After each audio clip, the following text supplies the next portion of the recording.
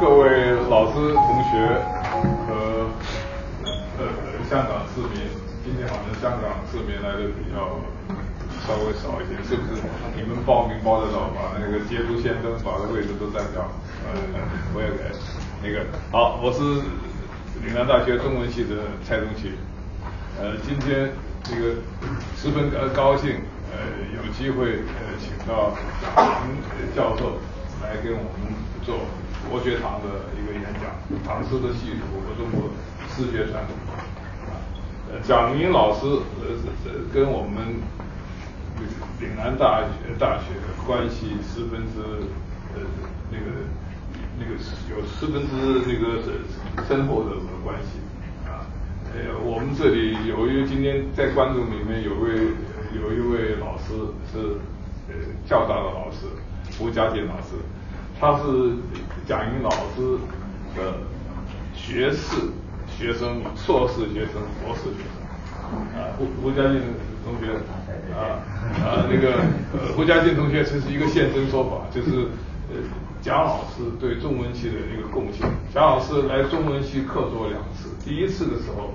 是呃胡胡老师的那个本科的呃老师，第二次是硕士，然后硕士毕业之后，吴家健老师就到北京中国科学院文学所当博士，拿到博士之后，现在回到香港呃在交大任教。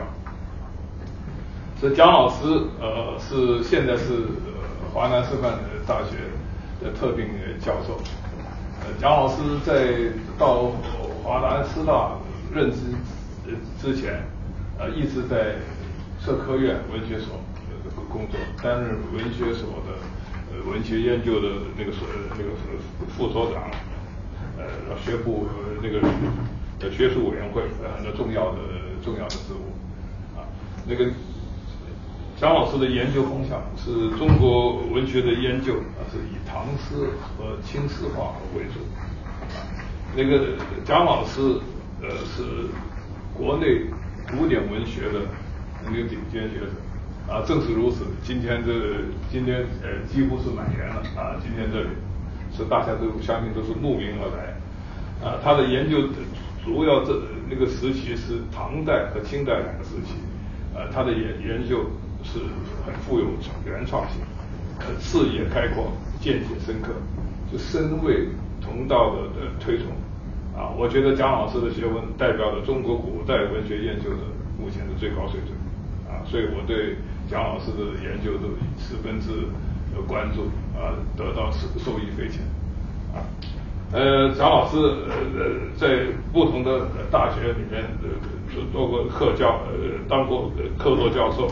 然后得得奖很多，长长的这么一一大段，我就时间宝贵，我就不一项一项的来来读了啊。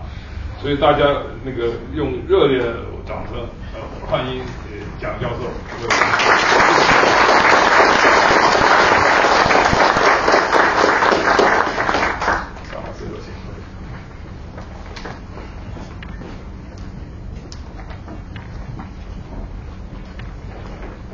好谢谢蔡同奇教授的介绍。那个啊，在座的各位岭南大学的老师啊，各位同学啊，各位领导这个，那么感谢大家啊，像一个冒着这个酷暑来听我这个这个向大家报告一点这个关于唐诗的研究。那么就像这个。蔡老师说的，就是我和这个岭南大学呢，这个有有很呃深很悠久的这个这个学术关系。在这个那个吕崇基教授啊、徐志平教授啊，还有那个司徒飞鹰教授，都都是曾经是两次同事，对吧？这今天又见到各位，非常高兴。那么同学们当然是无论是以前这个呃熟悉的同学啊，还是第一次见面。啊，能有这样一个机会和大家来一起这个分享一下这个唐诗研究的一些心得啊，那个然后我们呃做一些这个互动的讨论，呃呃非常高兴这个机会啊，谢谢谢蔡教授。嗯。那么我我今天跟大家这个分享的一个题目呢，叫《唐诗细读与中国诗学传统》。主要讲的就是我们中国人读诗的一套方法，对吧？因为我我我们讲到这个，现在讲到这个诗歌啊，我们经常会大家可能都熟悉知道一句话，说我们中国是一个诗歌的国度，对吧？这个这个话就是是我们传统的，就是从近代以来吧，大概我们会把诗歌引为我们中国人的那个一个骄傲，在这个近代以这个就是这个这个传统的这个中中华这种封建帝国，就是受到这个外来的这个西洋文明冲击的时候，那个时候这个士大夫都普遍的就是有一种好像这个一种这个。这个各方面都会有一种自卑感，觉得我们好像很多地方都不如别人发达。那么梁启超他就是讲，他说我们中国事事不如人，但是就是有一点说我们中国的诗歌呢，别人比不了，就是可以说我们作为中国人啊，把诗歌引为我们的一个文化的一个骄傲，这个大概是是是在当时的一的一部分士大夫还是可以这样这样有这个自信的。那么，这个讲到中国的这个诗歌的历史呢，确实是大概在这个在世界上是很独特的。就是就是在大家都知道，唐唐代是用诗歌来考试的，作为这个录取官员的一个一个考试内容，这个恐怕在世界上也很很少见的。然后从这个社会的各阶层，这个对诗歌都很爱好，对吧？在唐代，大家知道的，这个有一个歌妓。她就是这个歌妓了，她的一个妓女，她的要价很高，她跟一般的人不一样。那么别人为什么？她说我是能背诵白学士的《长恨歌》的，她就是以此来证明，就是她是一个有文化的一个一个，就是虽然说一个妓女，她都可以以此为骄傲。那么上至皇帝，下至这个普通的庶人，这个对诗歌的那个。爱好，这是可以说是一个中华民族的一个共同的一个传统。那么这个乾隆皇帝，这个对吧？叫他叫做这个十全老人，就是说他的一辈子啊，文治武功都十十全十美了。这个十全老人，他过去传说说乾隆皇帝写的诗有十万首诗，那么现在是大家大家经过统计说没有那么多，可能是有六万首。但是不管怎么说都是很厉害。这个且不说世界上哪一个皇帝能有写这么多的诗了，就是中国也没有，中国大历代到现在不知道没有个诗人能写过那么多诗的。而且这个是有有根据的，他自己讲过，他说我这一辈子这个其他的就不说了，单说我写的诗，唐朝人就没有人写的有我这么多。那么现在的全唐诗，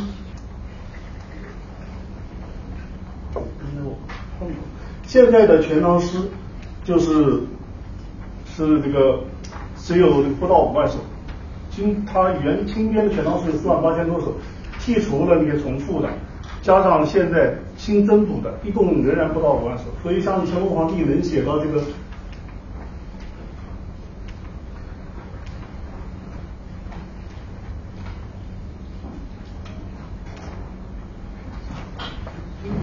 这这这竟然。对呀，我我想把它推回去。啊，对。那么，就是了。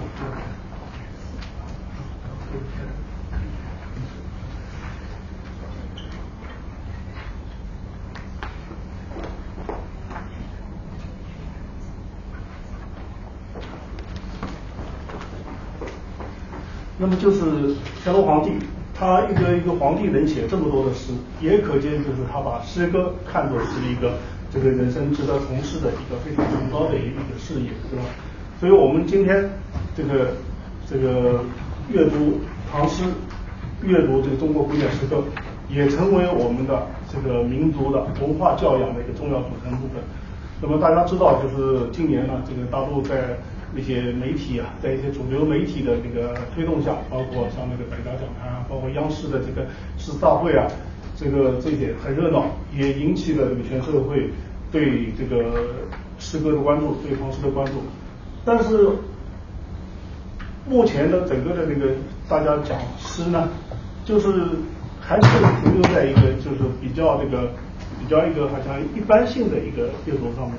那么，如果我们要讲说这个唐诗的阅读，我们作为中文系的学生，或者作为一个对诗歌爱好者，要想了解一个唐诗的一个我们的传统的读法的话呢，那么实际上就是唐诗的阅读啊，它也是有一套技巧的，也是有它的规则的，也是有它的一套学问的。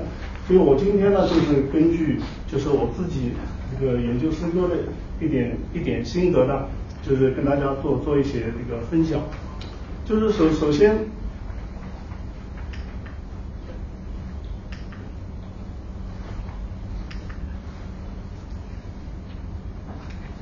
就是我我今天讲的这个内容呢，大概是这样三部分内容。一部分就是讲这个细读法，就是也是这个中国诗歌批评的一个基本形态。因为第二点是讲的这个诗学的一些基本概念，第三讲的古典诗学的这个传统读法。那么从这个近代以来呢，就是中国文学批评受到这个。西洋受到这个外国的这个文学批评的影响，那么大家就是在这个学术界呢，往往有这样的一种这样的一种，或者说是偏见也好，说是一种固有的成见也好，就是说呢，咱们中国的文学批评啊，都是好像印象式的，比较零星的，不成系统的啊，都是好像碎片化的。那么好像不如这个西方的这个这个这个诗歌批评呢，那么细腻，那么完整，那么有系统，对吧？而且从这个西近代这个英国这个形式主义批评啊，就是说这个这个新批评派成立以来呢，文本细读就会被认为是这个西方诗歌批评的一个一个一个主流。那么好像相比之下呢，中国的文学批评呢，跟这个印象派的这个。对吧？跟这个新批评派的这个批评比起来呢，我们的批评就会显得比较零碎，现在比较片段化的，对吧？是印象更多还是印象化的？那么这样的一种观念是在学界是往往会成为一个主流的。但是呢，我觉得这样的一种看法呢，是其实是这个嗯，不不很这个完全的。如果说在宋代以前，你们是以这个呃言语的沧桑诗话，或者是以这个。唐人的诗歌，宋代的诗画作为我们中国这个文学批评的代表的话呢，那么这样说大概也八九不离十。但是如果你把明清两代的这个诗歌批评包括下来的话呢，那么那样一种说法就很片面了。到了明清两代，就是我们的那个文学批评，因为它这个出版物也比较多了，笔下书也比较多了，我们可以看到，就是就就可以让通过那些著作，我们就可以了解，就是这个细读法。也是中国文学批评的传统，只不过是因为中国这个古代啊，课书非常难，一般老师的这个讲义真实的讲课的时间时候，他的那个很难就是完整的这个出版和印刷，所以留下来的往往是一些精彩的片段，只能用最精华的东西。所以我们现在看传下的著作，往往都是一些好像是片段的零碎的，但是如果你去看那个。新生态看那个徐峥他们的那个说唐诗，对吧？你们就会看到真实的师生之间的讨论和和这个那种批评啊，那样的也是非常细致的。他们讲一首诗可以讲到一两千字，比我们现在写这个鉴赏诗歌、鉴赏文章写的还要长。那个是我们这个中国古人这个诗歌批评的一个常态，一个日常化的批评，它的真相就是那样的。但是只不过是因为这个中国这个古书看课很难，费用很高，一般人刻不了那样的书，所以那样的一种批评的时态很难被这个完整的保存下来。所以我们现在大看到大部分的诗画呢是比较呈离心状态。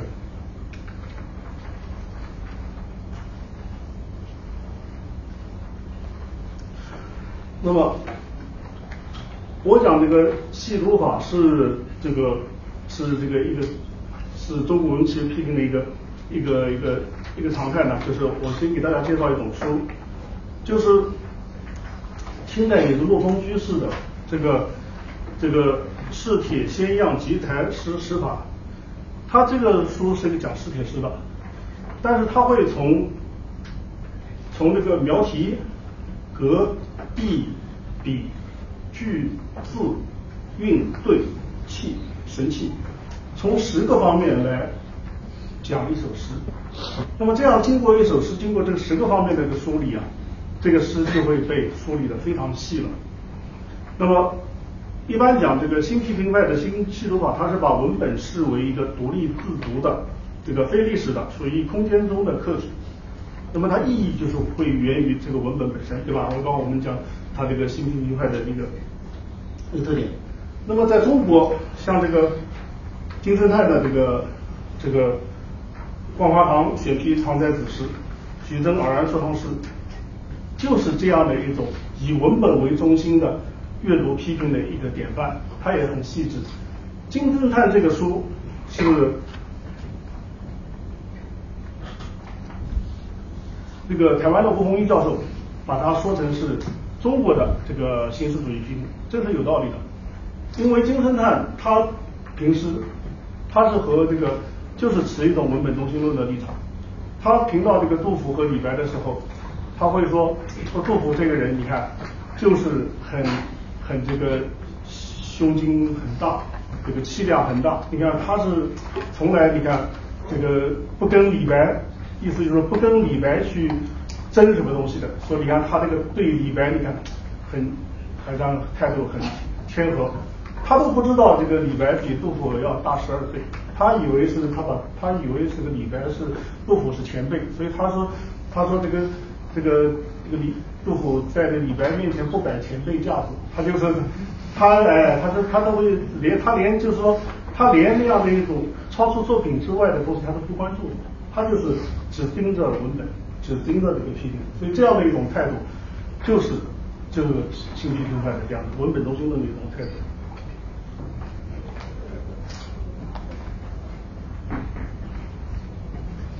那么中国的这个诗学的基本概念呢，就是我们按照这个中国人读读诗，它是有一套这个这个传统的这个概念的。那么这些。这个和我们现在现在的诗学概念比起来有点不一样。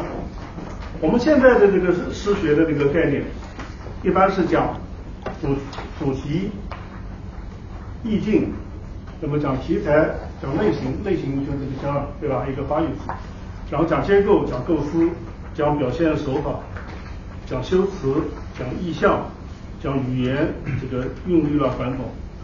那么中国的这个。传传统概念呢，它是不太一样的。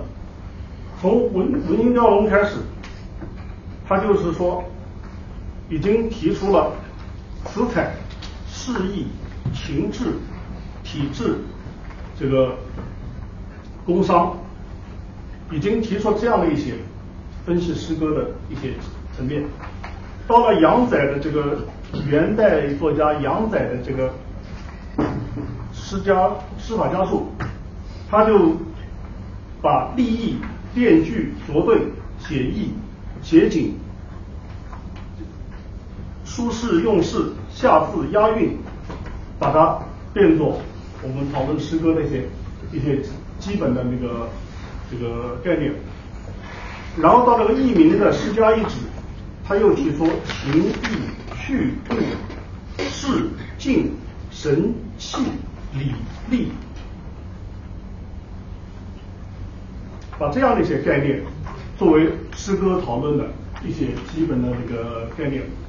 中国大概到元代开始，就是我们诗学里的一些基本概念啊已经被提炼出来。就是我们后代诗学里谈到的一些我们论诗一些核心的概念，在元代已经已经基本上就是被提炼出来。所以元代过去大家不太重视。不太重视，最近也也开始有人，因为这个全元诗、全元文都编出来了，所以元代现在研究人比较多了。那么元代实际上是在我看来，就是它是开始就是我们中国诗学的这个体系基本定型，它的核心概念开始被提炼出来的一一个时代，就是，所以我们今天后代论诗基本上都是使用这些概念。那么按照这样的一些这个。来读诗的话呢，就是就是会有形成中国自己的这个读诗的一套方式，就是根据我们这些上面的一些一些基本概念，我们判断一首诗，我们就会从这么多的那个方层面去去看。那么中国人讲诗歌最重要的是是什么呢？就最重要的一个，首先就是体制。体制就是在刚才在这个前面《文心雕龙》的里面，《文心雕龙》已经提出了这个论诗文体制是最重要的。那么到了宋代，就是这样的观念已经就是成为这个老生常谈了。就是黄庭坚就说，他说金工就是王安石，他说王安石评文章的话呢，常先体制而后文之工作，就先看你体制对不对。然后再谈你写的好不好。这个这个薛薛的这个这个清代这个诗人是他说得体二字就是怎么把握体制叫得体。得体二字是诗家第一重门槛门线，就是再越不得。就是说这个读诗首先体质最有最重要。那么体质好比什么呢？我们打个比方，就好像我们穿衣服。你在什么场合，你穿衣服，觉什么最重要？是颜色最重要，还是面料最重要，还是款式最重要？一定是款式，对吧？如果你去应试应聘，你就要穿一个比较这个普通大方的一个一个一个衣服。如果你去出席婚礼，出席你就要穿的是一个比较。华贵的衣服，对吧？你要出去丧葬仪式，你就要穿一个很普通的衣服。就是它的那个款式是应和这个场景决定的。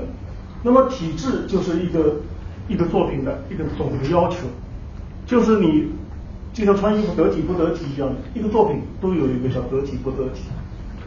首先体制对了，你的诗才能写得好。那么体制是由什么决定的？是。由类型决定的，类型这个词就是是文学里面一个很重要的概念。就是我们现在看电影，大家就知道这个一个电影，首先说这是警匪片，还是还是这个抒情片，还是悬疑片，还是这个对吧？这个就是类型，因为你有了类型，你才知道这个片子它要说什么。那么做诗文也是这样的，我们要想写一个文章，我首先要决定我这个是属于什么类型的，对吧？类型跟什么有关系呢？类型跟你的功能有关。就首先你要是你写这篇文章干什么？功能决定了你的类型，类型又决定了你的体质，是吧？所以呢，就是我们中国人讲讲这个诗文的时候，首先是要看体质。体制呢，又和类型有关。那么大家对文选一定很熟悉，文选是目前我们知道的这个这个根据类型来选择作品的一一部一部作品一部这个选集。文选分二十二类，武王、树德、这个劝吏、献诗、封宴等等，都是类型。哀伤、咏怀、这个行旅都是类型。比如说这个咏怀，咏怀就是自己内心有一些感触，需要表达，那么他就决定了他一般是一个主一个主题先行的，对吧？他没有这个呃，可能是有些事情出发，也可能没有，所以他一定是以表达自己的这个主情怀为主。那么哀伤啊这些当然这个都都一样，像咏史。肯定是面对这个历史上的事情来发表评论或者是感触，所以这些类型决定了体制。那么中国古人因为这个因为这个把体制看得很重，所以对一首诗的这个评判。首先是要从体制入手，但是往往是历史上这个不是说很都能明白这个体制的意义的。比如像那个许薛仪，这是明末一个很重要的批评家，可能也是中国历史上这个最优秀的批评家之一的。王夫之当然就更不用说了，对吧？王夫之的这个美学是大家很推崇的。但是他们两位对这首诗的那个判断，大家看一看，很可能就是有问题了。《梦华录》这首诗大家一定都很熟悉，对吧？是这个说是一个名作，是是这个唐诗里面一个名篇。但是这两位都提出了一个很严重的批评。许仙一说，他说这个诗这个诗呢，前四句很雄壮，后面四句呢就很很不称。这就说这个诗不完整啊，不完整，前后不称。那么王夫之呢，就是讲说这个孟浩然呢以周记。垂钓，钩索合体，钩索合体就是不相干的东西把它牵扯到一块，来凑这个题目。他说呢，确实全无干涉，就是说这个船呀，这些这个这些这个周记啊、钓鱼啊这些，他说跟跟你这个洞庭湖其实主题没什么关系，就有点三拉硬扯的感觉。那么我们看看是不是这样呢？那么首先要看这首诗，它的类型是什么？一般这首诗的题目，有的就叫《临洞庭》，没有上张丞相这四个字。如果光是《临洞庭》的话，它就是一个可以说是游览诗，对吧？到洞庭湖边上，可能是个游览诗。但是有了上张丞相这首诗，这四个字。我们就知道这首诗，它是一个献给张九龄的，张成张九龄的这首献诗。那在古代，这个献诗啊，往往都是去把自己的作品给一些名人达官去献给他们看的话，往往都是一一些求得他们赏识，然后获得晋升机会的一种手段，就是我们古人叫干谒。啊，古人叫叫干谒，所以这首诗它从类型上讲，它是一首干谒诗。那么干谒诗它的体制是什么要求呢？就是干谒诗的功能是要求取别人赏识自己，对吧？那么你凭什么要别人赏识自己？所以干谒诗里面它就要有两个内容，一个要表现我有才能，对吧？我我只有我有才能，别人才能赏识你啊。所以干谒诗的这个它这个体制就要求，通过我的这个诗写作，我获得你的赏识，然后呢，表达我这个，请你提拔我的意愿。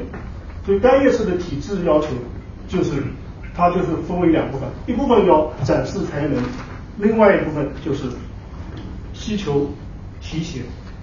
那么从这样来看，我们来看看这首诗，你看它怎么写。第一句“八月湖水平”总写这个湖湖水，对吧？比较平常的写这个时间，写这个湖面。但是“含虚混太清”这一句，这个力量出来了，对吧？虚就是虚空，这个湖水含着整个的虚空，太清和天上的那个古人把这个道教把天上太清、上清、玉清嘛分成三清。它这个湖水一直把天上这个三清都包含在里面，就是说这个湖湖面的空阔浩渺，就是写写写出了湖水的这个空阔浩渺。这个两句就是写湖，然后就写到，因为洞庭湖这有岳阳楼，写到叫气蒸云梦泽，包汉岳岳阳城。云梦泽是。湖北，但是它这个洞庭湖是在湖南，这个湖南这个云，这个洞庭湖上的这个水系蒸腾起来，一直会笼罩到过了长江，笼罩到湖北的云梦泽，这个把这个湖面的那种气势就写出来。下面一句写它的波浪，波浪能撼动岳阳城，因为这个洞庭湖在岳。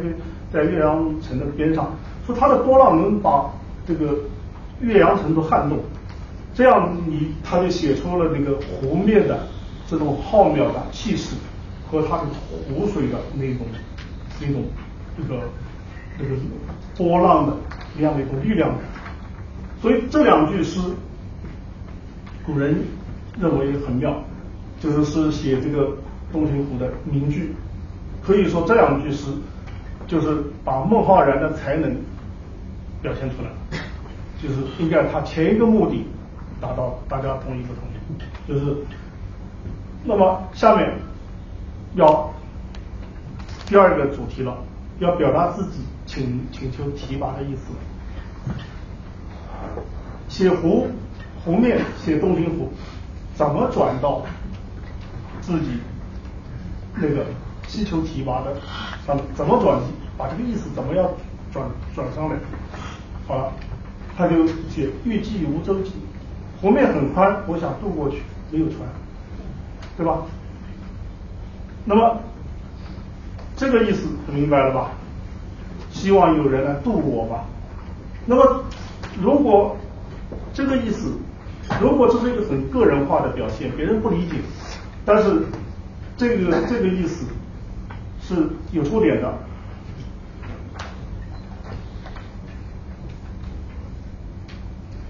曹植的诗里面已经写过了，说愿愿欲一清寂，西载无方舟。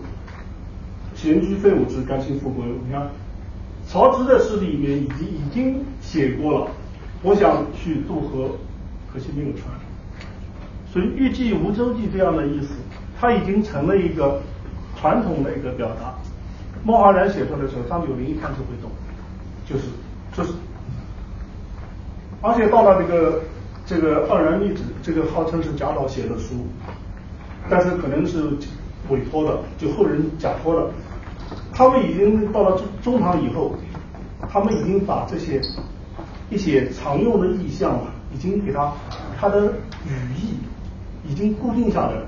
就是说，周记桥梁都会比上载，然后呢，比提携的人黄道通常一点。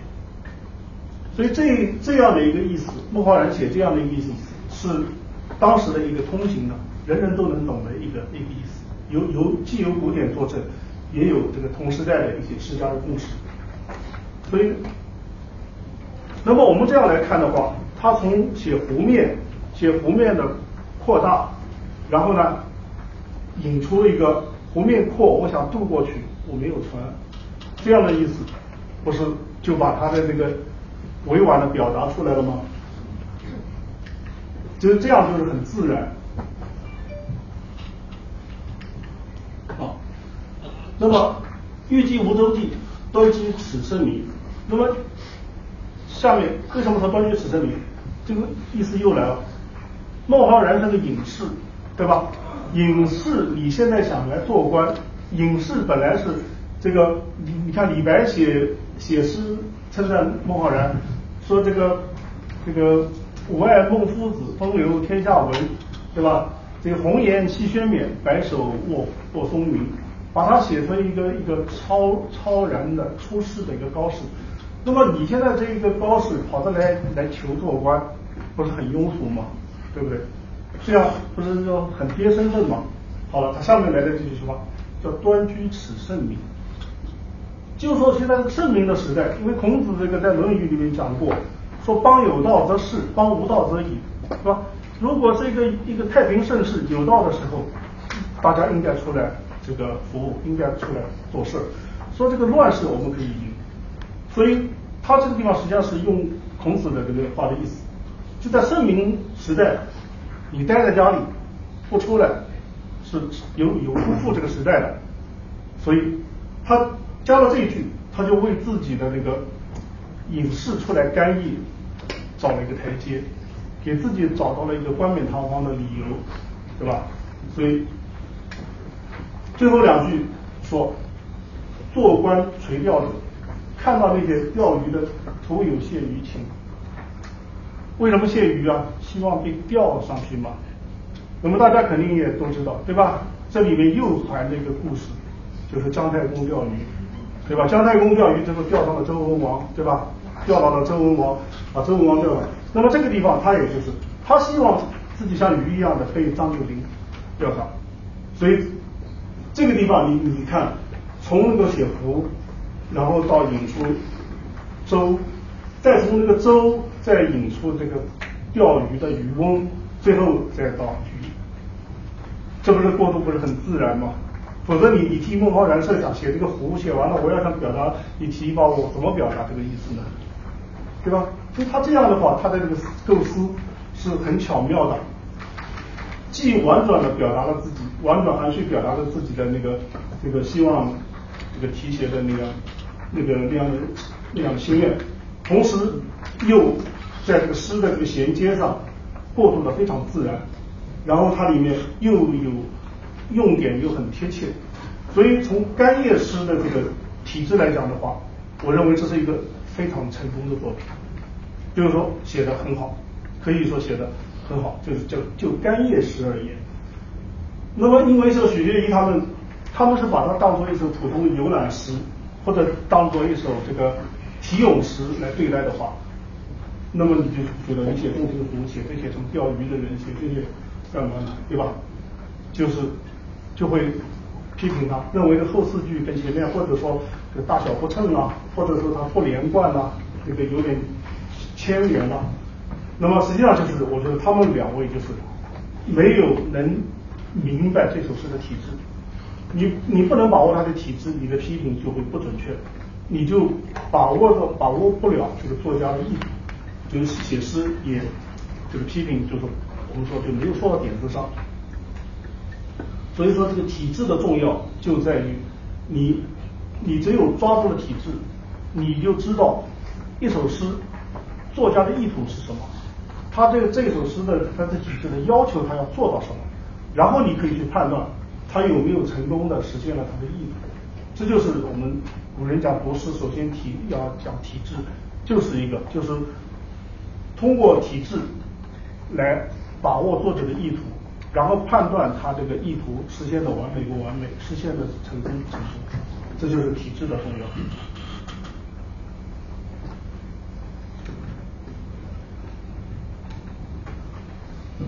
好，我们再讲，下面再讲，体制之外，中国人讲读诗，再讲什么呢？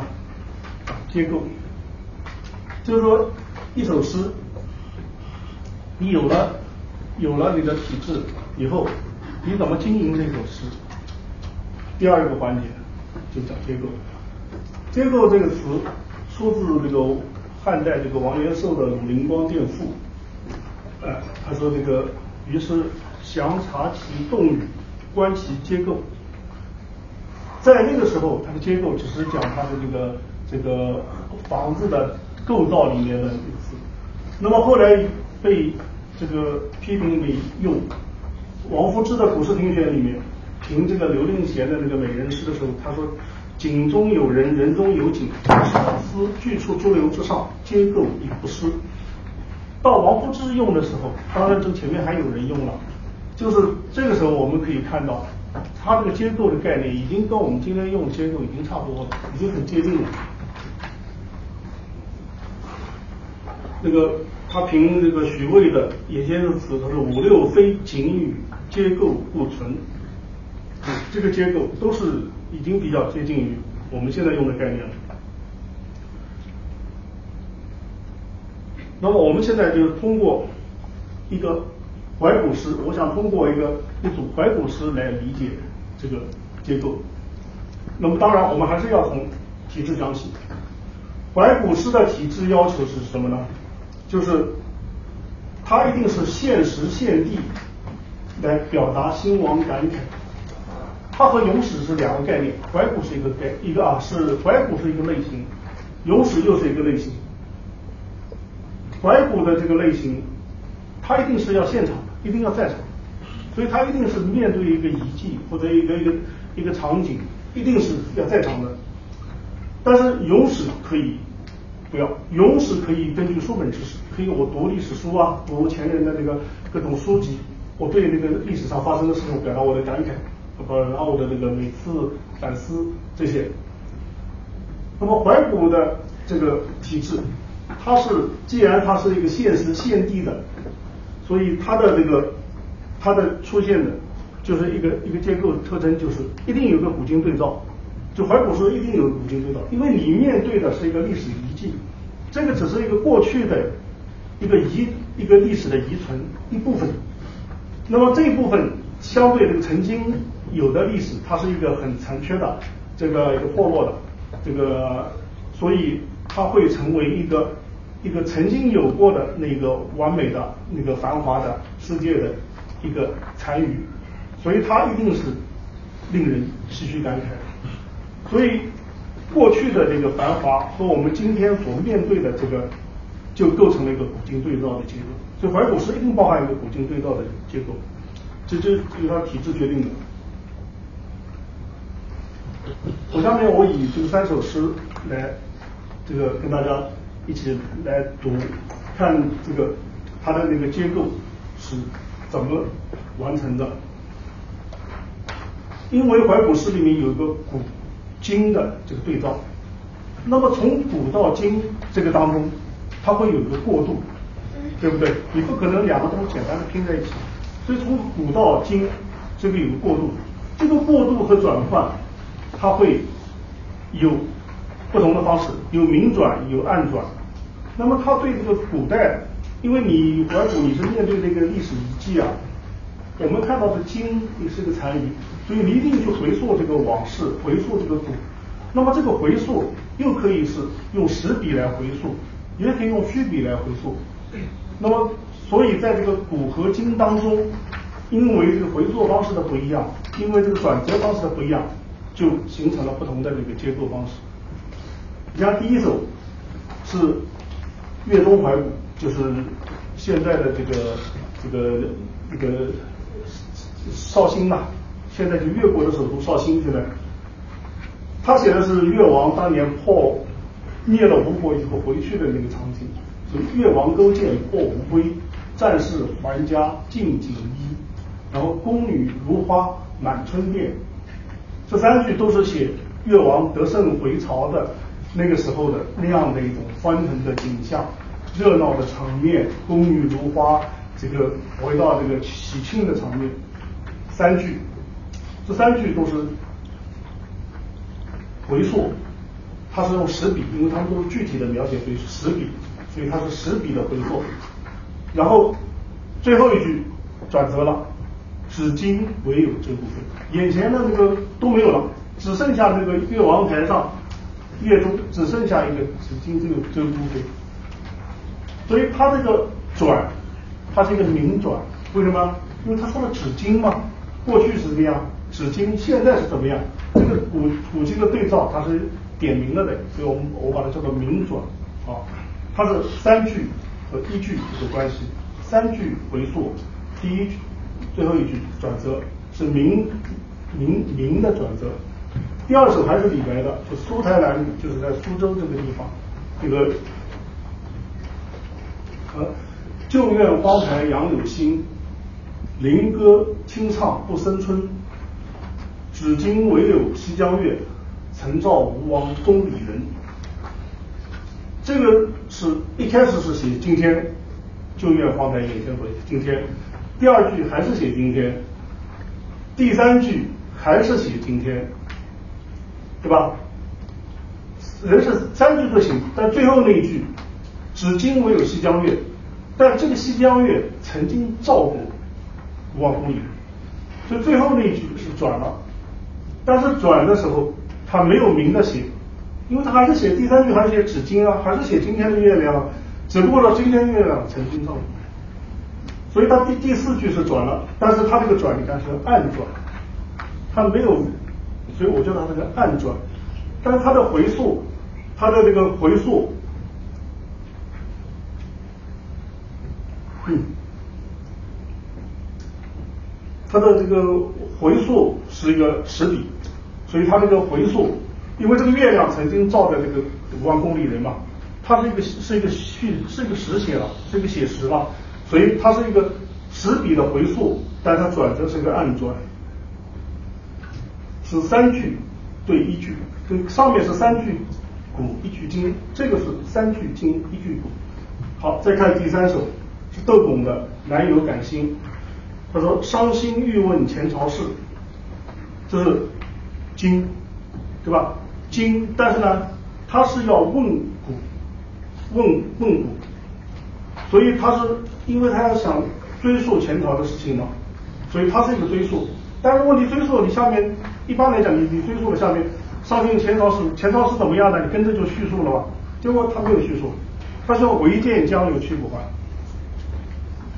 他第一句是要回溯，按正常的写法就是下面就要讲了上前朝是如何如何，当年如何大花。结果他偏偏不写，他第二句就说唯见江有，就今还是写今天，然后呢日落东风春草绿，折渡飞上越王台，全是写今，都是写经，没有写古。但是问题，这个第一句就在写古啊，他不说，但是他说了。对不对？他是回溯这个，引你去想象前朝史，所以它是一个虚笔的回溯，他没有具体写前朝是怎么样，所以这是一个虚笔的回溯。然后呢，它也是个暗转，他没有他说违建违建，他一直都在站在今天历史上，所以看起来好像是没有转折，但实际上它转折，对不对？所以我叫它暗转。那么你你们看这个三首诗。就是个简单的一个结，一个一个一个，就是这么一个简单的一个，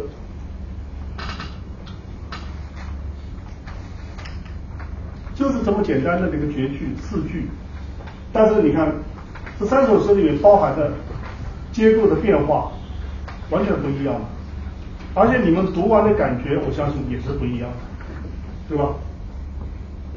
第一首，我的感觉就是。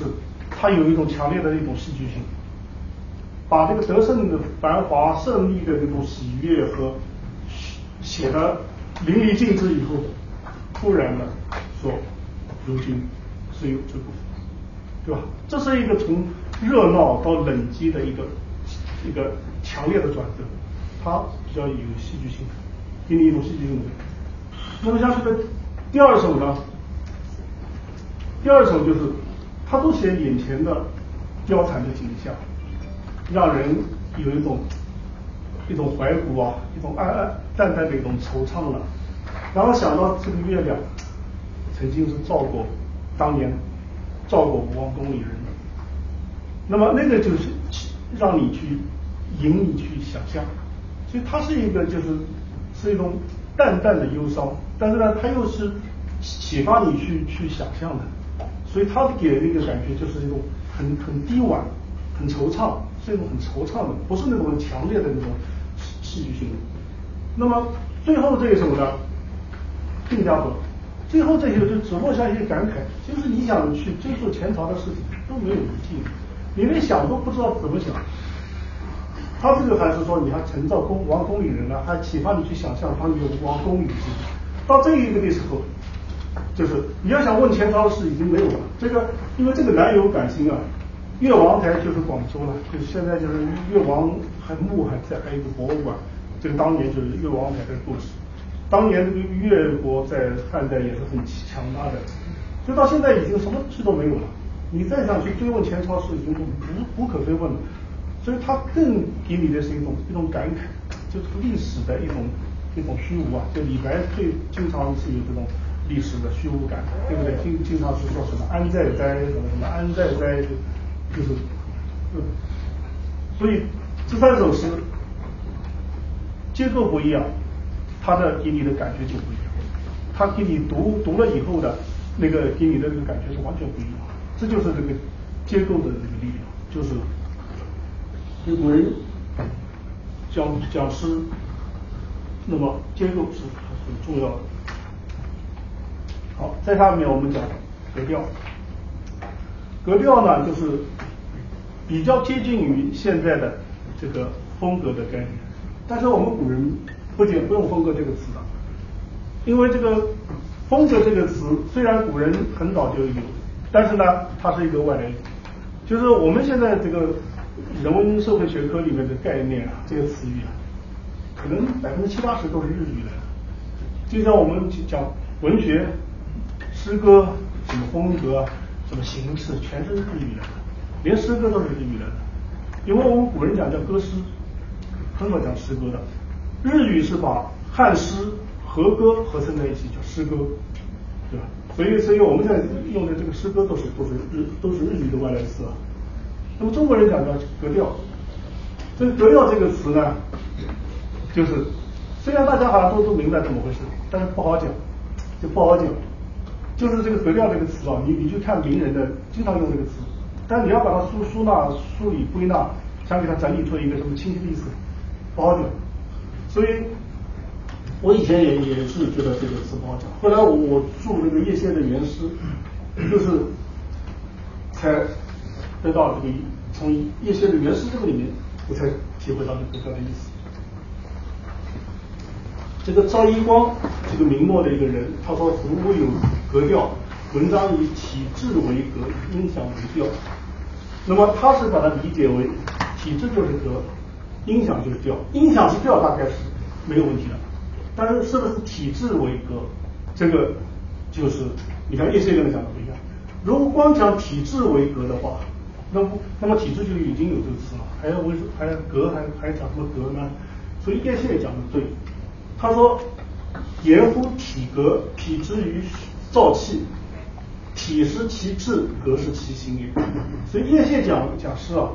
说是诗就是叫体格声调，正好就对应着格调，就格就是体格，调就是声调，声调不成问题？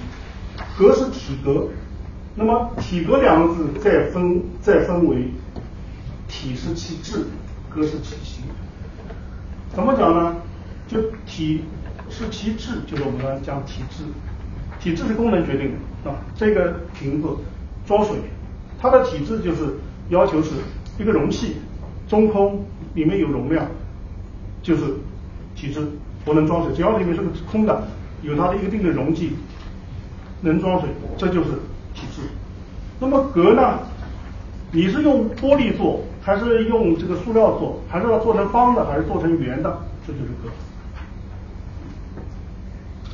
所以格调其实包含了就是我们刚才讲的这个。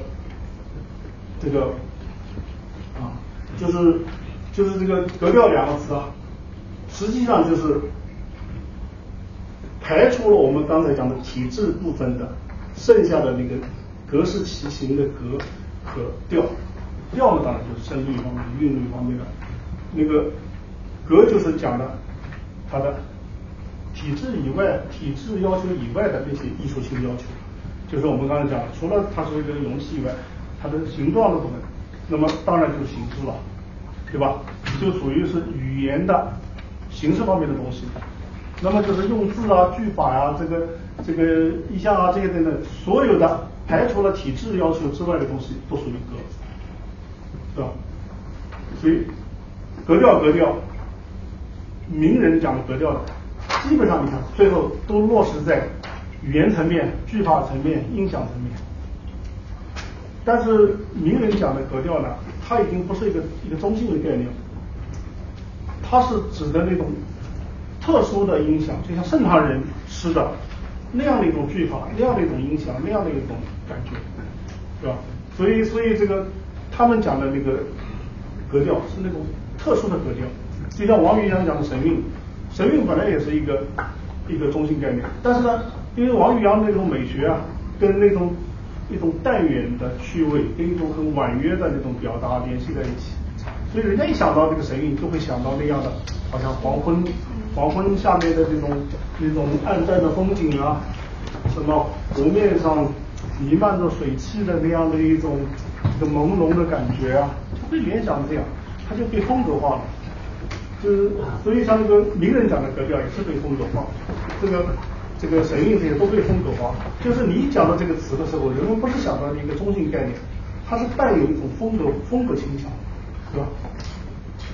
所以后来这个题外话就是后来到了翁方刚，就是他就要把这些东西全部还原。翁方刚就说神韵，什么事情都有神韵，他说格格调，什么事都有格调，就把它还原成一个我们现在用的一个文学概念了，就把你的风格化的东西去掉，就是。那么，杜诗，我们讲杜诗，我们上面我举个，就我们怎么来理解这个就是格调，是吧？杜诗曾经他在建那个雕塑表里面这么说，他说：“臣之素作，虽不能鼓吹六经，先明数字。至于诚意顿挫，随时领节，杨雄没稿之徒，速可起之也。实际上，我做他讲自己做富了，诚意顿挫。那么后人觉得这诚意顿挫四个字很很适合拿来形容杜诗给人的感觉，所以这四个字就成为杜诗的一个名片了，对吧？人一讲杜诗，总要成语顿挫，讲拿来讲杜诗。那么到底这个成语顿挫是什么意思？其实不清楚，因为杜甫也没有解释，后人。也不知道这个成语顿挫什么意思，但是后人他有不同的发挥理解，我们根据后人的那样的发挥理解，就知道我们古人使用成语顿挫是个什么意思。就是说我们现在可以把它做一个话语来分析，分析做一个话语分析，我们可以理解，就是说成语顿挫在后人的使用中，它被赋予了一种什么意思。至于杜甫本人的意见，其实变得不重要了，对吧？所以我们在讲这个格调，我们讲这个讲这个成语顿挫的话，我通过想通过这首诗来，大家我们一起来体会，怎么体会格调？就包括讲杜诗的成语顿挫，我们怎么来理解？这首诗 大家也也很 也很熟悉。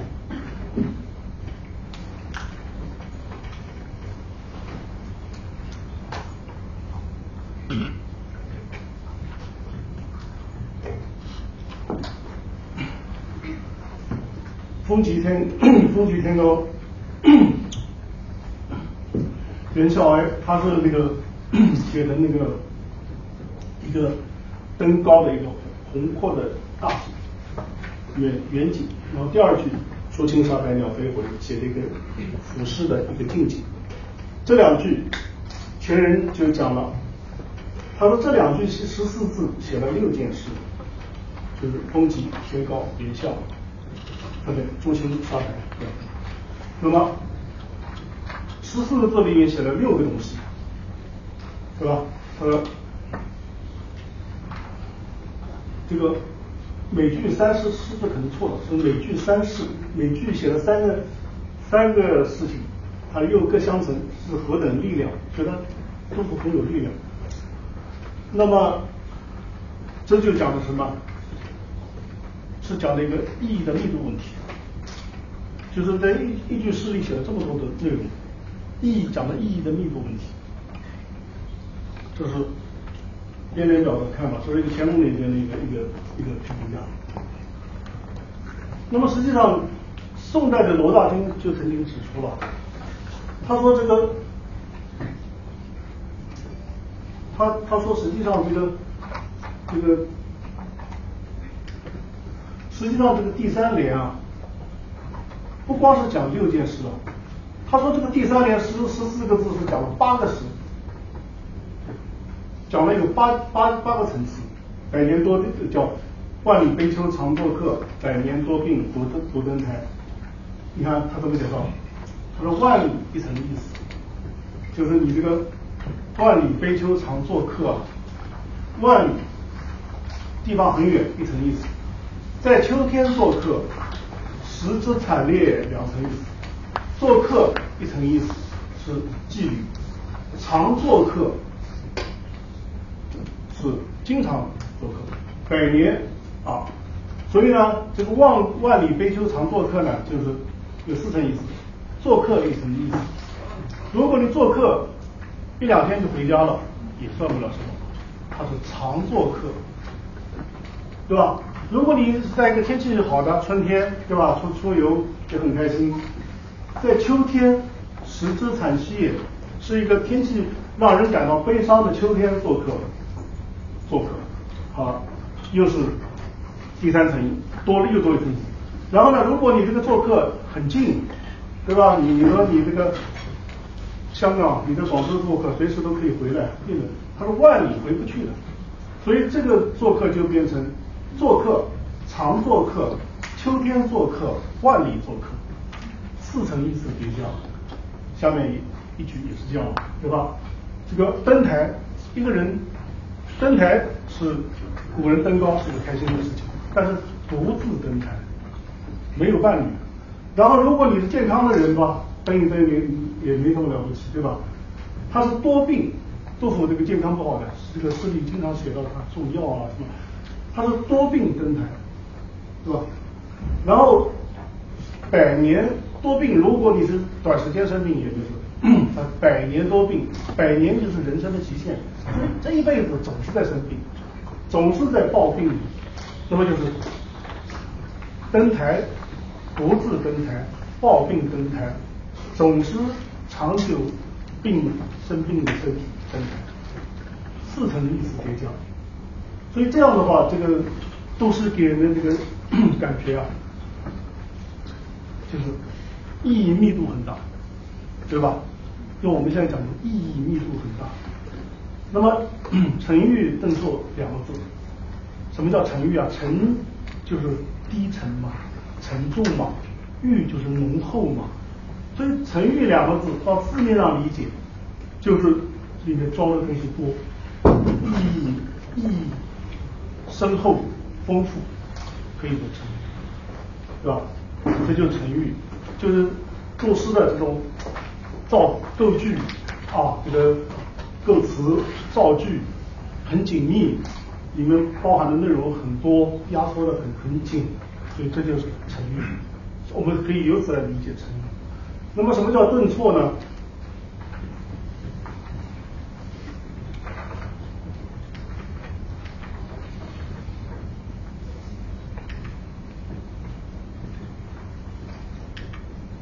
什么叫顿挫呢？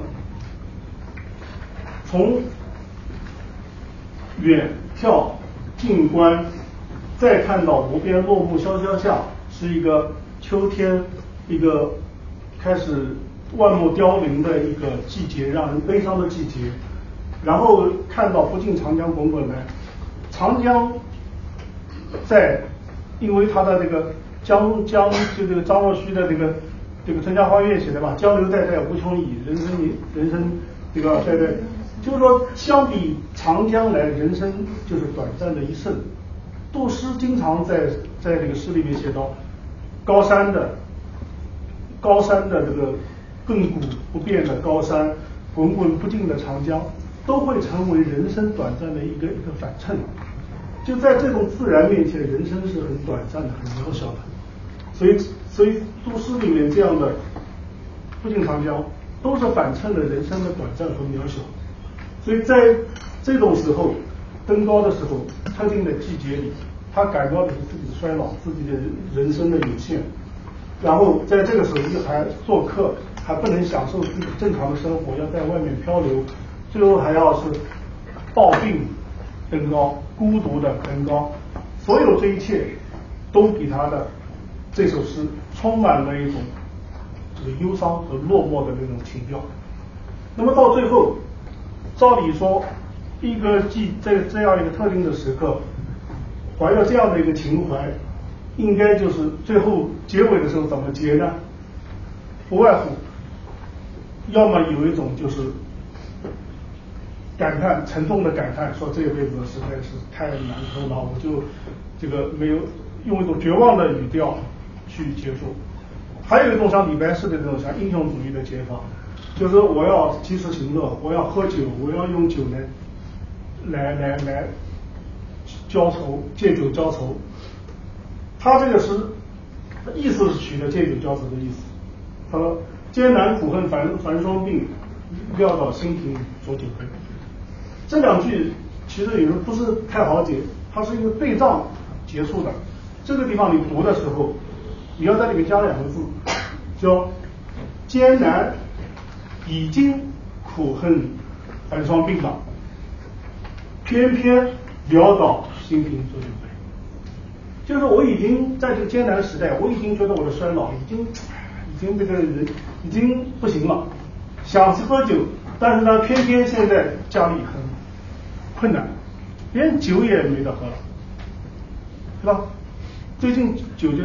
酒也没有了，所以他这样的意思，你看，借酒浇愁是正常的一个逻辑的一个这个诗意向前推进的一个逻辑是，现在苦恨繁霜鬓，我要借酒来宣泄，但是他这个意思你看没有写，他反而说我现在想想借酒浇愁没有酒，偏偏没有酒，所以他这一句你看是个反折，他不让你这个诗意的正常的那个逻辑向前推推进，他的这个地方的戛然而止是个反折，用你出乎你的意外的一个一个意思，哎，这好像就像开汽车开到个地方一个急刹车，一个停顿，顿挫就是这样一个惯性，你的诗意的惯性还在往前走，但是它的意思已经让你停下来了。这就是顿挫，顿挫，顿挫的意思就是顿嘛，停顿嘛，挫嘛就是挫败的挫嘛，对不对？所以顿挫两个字从字面上解，但是你结合这个诗，你就是这样，它就是一个正常的诗意的一个义脉，我们有个义一个词叫义脉，脉络的脉，义脉的延伸，它不让你按照正常的这个逻辑去延伸，让你扭转你，扭曲你，这样的话，让你读的时候。他会给你一个出人意料的结局，这样带给你的感觉就是顿挫，所以后人就很学黄庭坚啊，他们后人就就很学杜甫这种句法，就是不让你一个意思，让你轻轻松松的按照你习惯的思路去表达，我一定用出人意料的结局来来改变你，给你一种给你一种造成你一种惊喜一种感觉，这就是就是。顿挫。如果我们这样来来这个来理解的话，我们就能体会到什么叫成语，什么叫顿挫。所以叫格调，古人讲的格调就是这样。那么这《前路探批杜诗》里面，他通过他指出，他说最后这个杜甫这两句啊，其实是用的这个嵇康的。这个与与三句言绝交书的意思，就是浊酒一杯，潦倒这个潦倒病树，对吧？他是从这个意思翻出来。那个方中树方美瞻言他解释呢，说顿挫之说，如水银有往必收。什么叫有往必收？就是你们写写书法知道，这个笔下来的是你不能就下来一拖下来，这样没有。下来收笔的时候回，一竖的时候提，一定是一那个一收，就是叫有往一收，不能说话一拖下去，那个笔就是这样飘掉了，对吧？没有力量了，所以这个行笔的最后一定的收笔，就叫有往必收。那么这有往必收就造造成一种走回来的力量，对吧？说无垂不缩，垂的时候要的一提，所以他说将军欲以巧夫人，这个盘马弯弓心不发。弯弓弯那个地方都是发出去，虚的这个势就是，这都是都是讲的一种顿挫的这种，都是讲的一种顿挫的讲法。好，然后第四点，我们讲音节，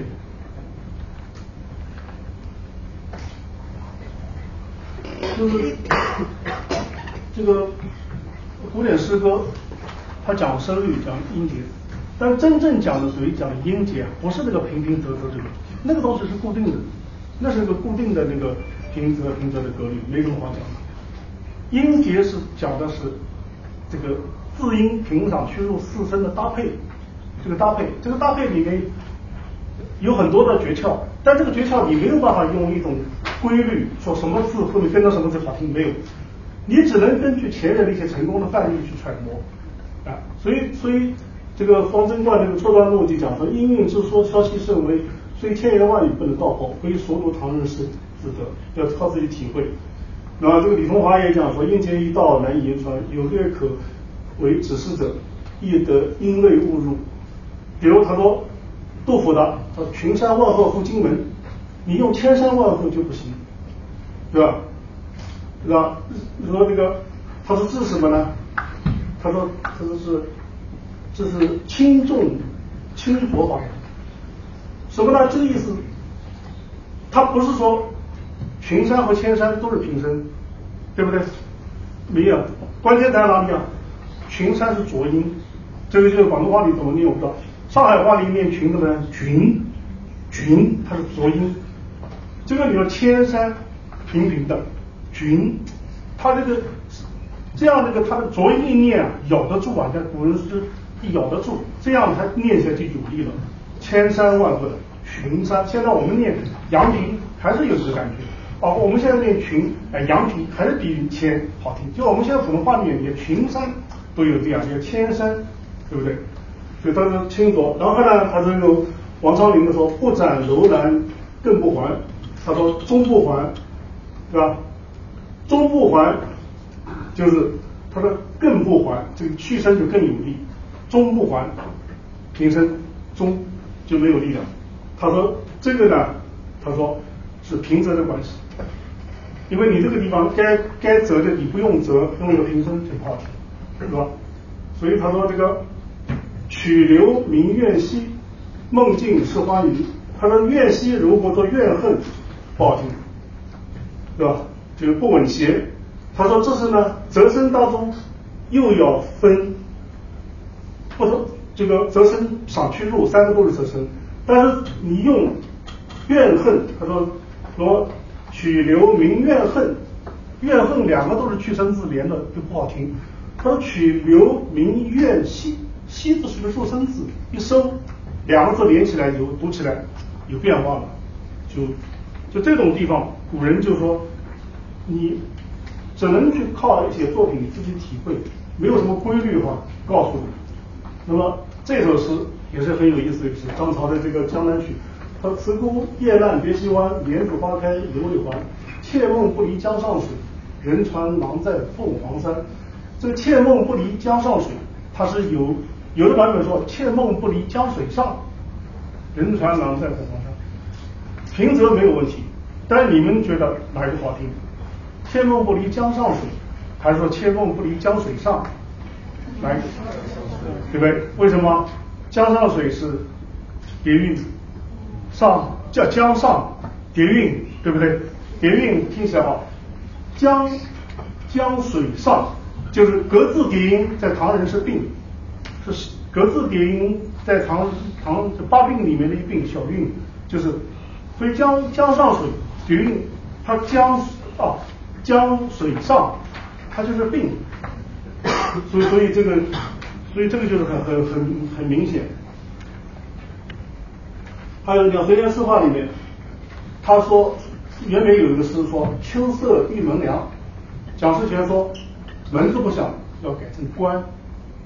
你们自己听看，“秋色玉门凉”，门这个发音成闭口闭口音啊，“秋色玉关凉”，关是个开口音，一下子响亮的多了。“秋色玉关凉”，“秋色玉门凉”，对不对？就然后这个。这个怀平诗话讲时间，他说五月临平山上路，藕花无数满城洲。他说有人说是六月，他说为什么不用六月呢？你看六月，你用广东话讲落，两个这个入声字相连，不好念。五月念起多响，五是个上声字，一念就很响，就是上声字，对吧？你说六月两个入声字同韵的连在一起，就急促不好听。然后呢，其实这个藕字，它为什么不说荷花呢？就刚才的荷花平啊，藕花放在句子开头，藕花藕是上声字，是吧？然后这个《古家十八拍》里面是莫以胡儿这个可羞耻，恩情亦各言其子。他说手中食指有长短，这个截肢缝隙皆相似。实际上有长短。你要让我把改成有短长，就会好听得多。像你们的手中食指有短长，它压的指都是压的指，压的这个折声字。你改成短又是个长声字，你改成有短长就会好听得多。不知道这是他版本错还是他原来就如此，但是非常有名字，你们自己去回去读一读看。好，这个好像时间快快到了。嗯，是这样，他这个这个就简单讲一下，就是，就是像古典诗歌虽然讲有很多的这种我们讲判断诗歌的这些层次啊，这种，但实际上是有一些作品是，你好像很难讲出它有什么技巧，就像这个这个诗，问于何事栖碧山，笑而不答心不闲，桃花流水杳然去。别有天地非人间。他前人说他这个诗啊，只要有眼睛的人都会知道它是好诗，那但是你说这首诗好在哪里啊？你讲不出来好在哪里。说当然你可以说啊，这个诗人的胸襟很超然啊，很高妙，他就是这样的。那么这种诗就是，如果你要讲说这诗我要讲怎么个讲法，那么没法讲，古人就告诉你没法讲，就是一种叫自然高妙。他说有有理高妙，有义高妙，有想高妙，有最后这些都没法讲了，这叫自然高妙。就是中国有这样的一种境界论述，就北大的袁行霏先生曾经写过一篇这个论文，论天趣，天然的天，趣味的趣，天趣，天趣就是自然高妙，就是他他带来这样的一种自然而然的，就是好，就好像他天生就是这样，就是这样好，这叫这叫自然高妙，这是就是说读中国的诗一定要知道的一个这样的一种境界，就是。你知就是你知其然不知所以然的，这样就是自然高明。你就很多诗就是这样，读了就好，但是你要讲讲讲不到什么啊啊，这个里面也是前人有一段话，也是这样，这个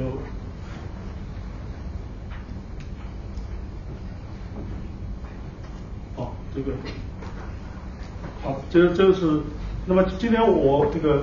就是想跟大家分享的内容，就是就是这一些。就是我有个公众号，就是大家如果感兴趣的啊，就是就是可以关注我这个论诗啊，论这个这个，就是还有一些时间，可能讲的太太长，还有一些时间，这个请大家如果讲的不对的啊，请大家批评。如果有一些讲的不清楚的，也欢迎大家提出提出的。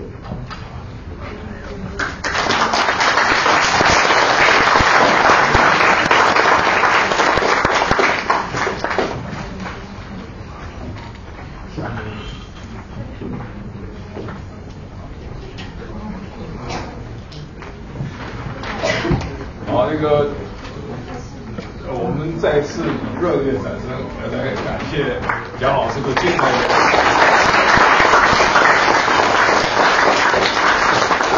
作为主持人，一一般来讲呢，就应该是把时间给大家，但是我今天要忍不住要打破这个常规，因为蒋老师他所做的研究，跟我做的研究。内容很相似，一个是诗学，一个是诗歌的这个分析。所以蒋老师真正是我的知音的知音，因为在蒋老师今天讲的这个内容，我们可以从几个方面来看。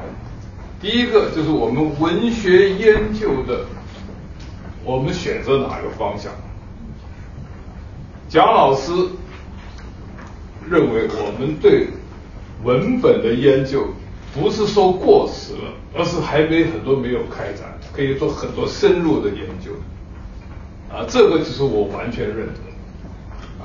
其实作为我来讲，这是一个本来是应该做的事，但是在当今的学界里面是一种反潮流。在文学研究当中们都关注的都是文本以外的关系。历史或者更更加现在的关注的什么权利啊、性别啊啊等等等，对于文本本身，因为是在西方世界的文学批评里面呢，他是认为是新批评主义、结构主义，这些都是已经过时、赶时髦啊，所以那个文本的研究、文本的分析，这是几千年、上千年。呃从是从宋代宋代开开始啊，都是我们一个诗文评的一个一个传统，但是很少人关注，关注人比较少。但是我在这方面，我也成为我研究的一个重点。我觉得这是因为我们在国内的发展里面，就是正如蒋老师讲的啊，不是说我们已经做完，而是很多工作没有做。你看，像今天蒋老师。讲几个一个核心的概念，这些我们经常读出来，都都觉得啊，好像是很重要，似曾相识，但是我们讲不出个道道。今天蒋老师通过一个具体的例子，就把体制结构、呃格调、呃那个声调，呃然后那个自然高妙这些这些术语，落实到具体具体的诗歌分析里面，所以我们都来听来津津有味。所以这这就说明一个问题了：古典文学、古典诗学里面很多的工作、文本的研究，不是说已经没有展开，而是需要我们展开。正是如此，我的最近的一部专著《语法和诗情》是专门谈这些内容。啊，这是一个我跟蒋老师。呃，那个对于学术发展的一种判断，大的判断，我们是一致。另外一个，刚才那个蒋老师讲的几个那个核心的概念，然后举的例子，都是在我那个书里面和在那个我的那个播客、播客和那个视频节目《如何阅读中国诗歌》里面。也用了同样的例子，也同样来解决一个同样的一个问题。比如说，蒋老师刚才讲体制的问题，其实我在登岳阳楼那一集里面，我就选了，就是孟浩然的和杜甫的两首来比，然后我的比较话呢，觉得就是说杜诗。我是比较认同那个呃这种传统的一种观点，呃呃呃，当时讲那个杜诗的气派，前边那个气征，那个那个那个气那个就是说，呃那个吴楚东南坼，乾坤日月浮，那个我就分析的话，他这种气派比那个气冲云蒙泽，波撼岳阳楼要更高。然后下边呃下边的呃那个那个。那个景联和和尾联，我觉得在那个思想情操方面的那个，在那个思想情操方面，一个是要求得做官，一个的话呢就忧国忧民啊啊那个平轩第四流，呃戎马关三坏啊也是一个转。我做这个判断的话呢，就从我们现代人，因为我是讲登岳阳楼几首比李白。呃，和那个与夏时登岳阳楼，然后杜甫的登岳阳楼，还有这个呃孟浩然，这从这个从观景题咏这个角度来讲，所以我做出这个判断，啊，觉得是杜诗要胜过这个呃孟浩然，但是从写完了之后播出了之后，我就觉得这个可能有点呃判断。有点那个，有点太太激烈了。其实它是一个干叶诗，这就涉及一个一个一个体制的问题了啊。其实它是一个干叶诗，而干叶诗正正像刚才贾老师这样分析，从作为干叶诗来评价，它是一个极佳的一个干叶诗。但是作为一个观景诗的话呢，啊，这它是远远比不上杜甫。这就涉涉及一个问题：中国传统。文学批批评的话，比比西方那个新批评主义他想的更加周全，就是说我们不能是光是讲结构等等，我们还要考虑一个它是为何而写，这这个诗歌类别的类别它的预期的期望，你用这个用这种新的一种 convention 来来来来分析的话，你得到的判断是不一样的。啊，是这就是说，中国古典诗学里面有很多精华的东西啊，它在西方的形式主义批评里面，它是想解决而解决不了。啊，下面转到下一个话话题，啊，就是讲那个结构。结构，刚才那个那个蒋老师，这个。关于结结构的讨论的话呢，又是跟我这个有一个形成一种一个回应，一种对比。我现在那个如何阅读中国诗歌的第一个系列《唐诗之意境》，呃，最近要开播了，刚刚恢复开播，讲绝句。到往后的时候就讲一个关于历史题材的一个绝句。我。分把它分成两类，一类就是怀古，另外一类就是咏史。怀古作者本身涉及的情感设计在那，然后咏史就往往是是晚唐的，那是一个走出个人的情怀，从一个第三者的观点来对历史做一种评价，啊，这是更多是理性方面，这是跟宋诗的不一样，它是通过景物的比那个对对对比等等来表达的情感，所以这里的话呢，就就是说那个就是这里面就也也就涉及一个一个体制的问题，更细微的咏咏古和这个呃那个怀古和咏咏史呃的区别。然后这里的话呢，你选了讲了几个那个一个绝句，举了几个绝句。我这里就就觉得的话呢，讲结构方面，中国传统诗学诗学里面也有很多精妙之处，在西方里面和结构里面，他们没有关注到。也就是说，怎么样在结构里面一种动力？从前是讲士，到了后来清明清四学的时候的话，他就不光是讲那个像那个元代、宋代这个起承转合。啊，这是比较积极的。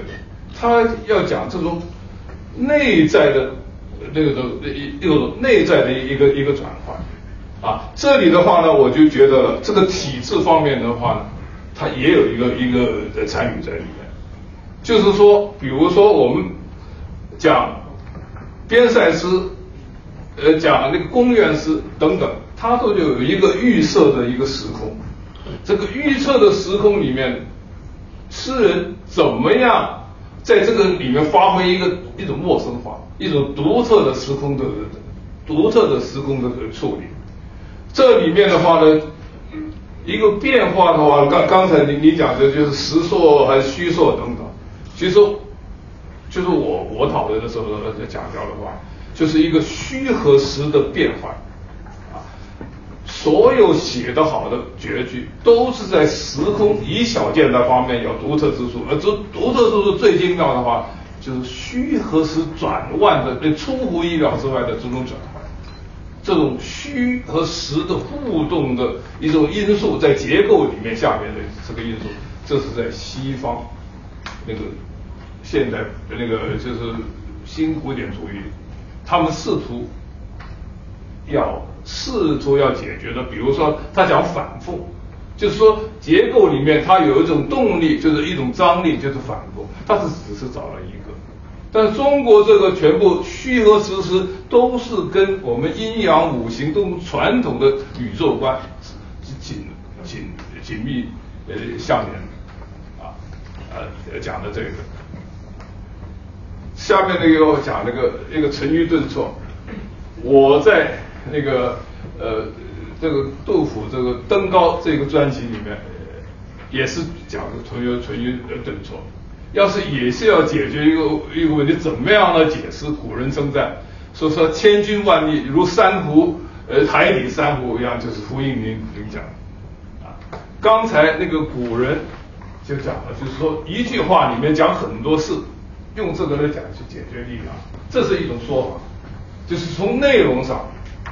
但是我我的分析呢，就是从一个结构顿挫是怎么产生，就刚才讲的一个转，顿就是停顿，转错就是一个相反，怎么会有这种这种？它就是整篇诗里面，它都是用一个我称之为的提平结构，提平应该说是断裂结构，就中国语言特有啊，每一句都是一个提平句啊。连开头两个都是一一种暗用提平句，不同类型、不同停顿的提平句，所以就产生了这么细菌、力量万钧的的气势，就是因这个这个句法。而正是因为有了提平句，所以他这首诗每一联都是对偶，但是我们读起来不像对偶句那样的那样动作很迟缓。我们一般对偶因因为它是重复。它是正是因为它在七言里面用了四三二五等等的呃这种的那个提兵句，所以的话呢，它造成了一个奇特的效果，就是每一行它是单独完成的，所以它这成的话呢，形式上它完全是属于呃那个呃那个律诗的，这种那种对偶句和非对偶句这种对联，但是效果上它就跟古诗一样，就是一种并列的结构、重复的结构啊，所以它造出一种独特的一一个顿挫，那个那个沉郁顿挫这种效果。所以这个的话，我的分析的话，就就落实到这句法从西方的另外一个一个一个一一个角度。所以说，中西的比较，让我们开通不同的视野，又丰富我们解释这呃解释中国传统诗歌啊的不同的一提出一种不同的呃那个呃那个解释。其实您讲那个徐峥，是很精彩的。他对那个王翰的呃那首那个《葡萄美酒夜光杯》分析的实在是竟然拍案叫绝，所以我在我的节目里头，我这一首我不谈我自己的那个那个看法，我觉得他写的太精彩，就是怎么解释用用这个顿挫来解释这首诗啊，所以说这个所以我就希望大家啊，虽然是中文专业，一定要把英文学好。打开你的视野，呃，丰富你的研究的一个角度，啊，所以说是这是我我自己的一一个一种感受，啊，呃，然后那个呃还还有那个呃那个其他还还还有很很多可以继续，我们可以也许我们以后可以做一个呃那个一个对谈或者等等的关于这个这这些讨论。啊，所以很高兴今天的话呢，我我当时我也不知道您会给给给这个题目来讲，所以对对我那个启启发呃收获也也很大，所以我有很多感也很多，所以就今天有点是喧宾夺主，讲的太多。好，那个下面我就把时间开放给给大家，呃，请大家积极那个呃踊跃发言。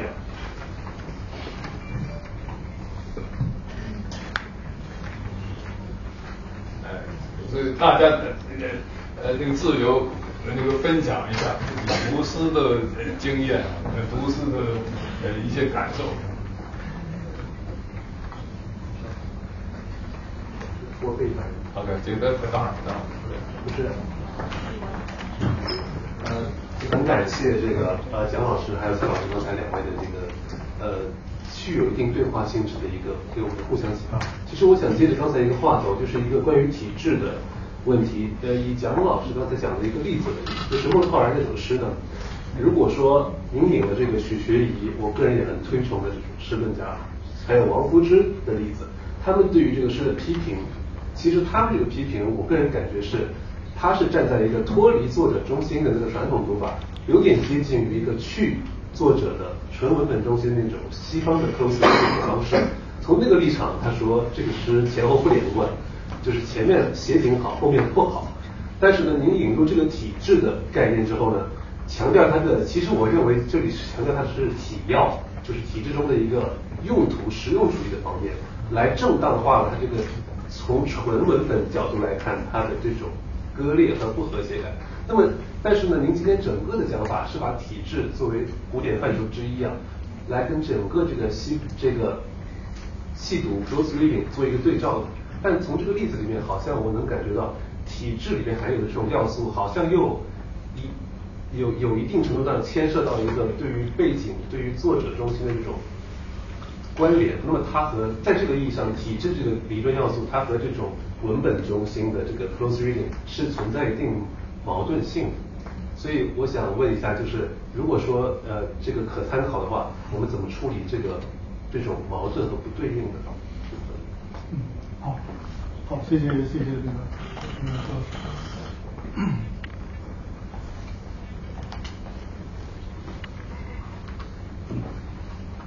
好，好，谢谢嗯，这个这个问题我觉得是里面包含着很有值得去研究的那个。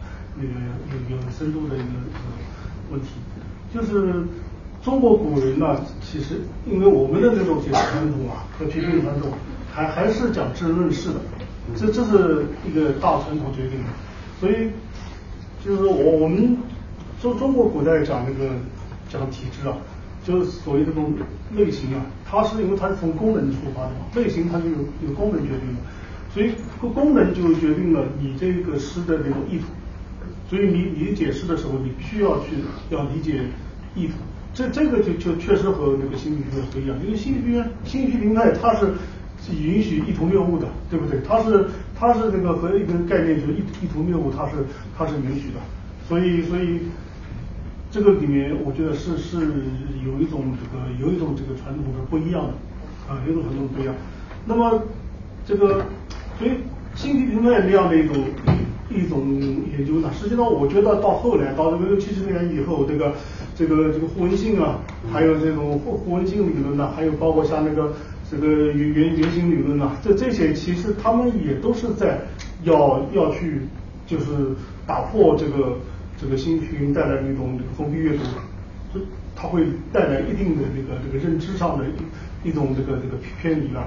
所以我我觉得后来他们那个像互文性理论呢，还有这些这个。包括原型批评啊等等这些这些，都其实都有一个共同的一个倾向，就是要打破这种文本甚至还有超文本啊，对对对，所所以就就是就就是也还是要回到这种诗人论市场来，因为因为这个你不了解意图，我觉得是意图是我们现在这个一个文学批评的一个重要标准，就是就是我我也曾经想想写这样的论文呢，就是当我们在现代文学理论。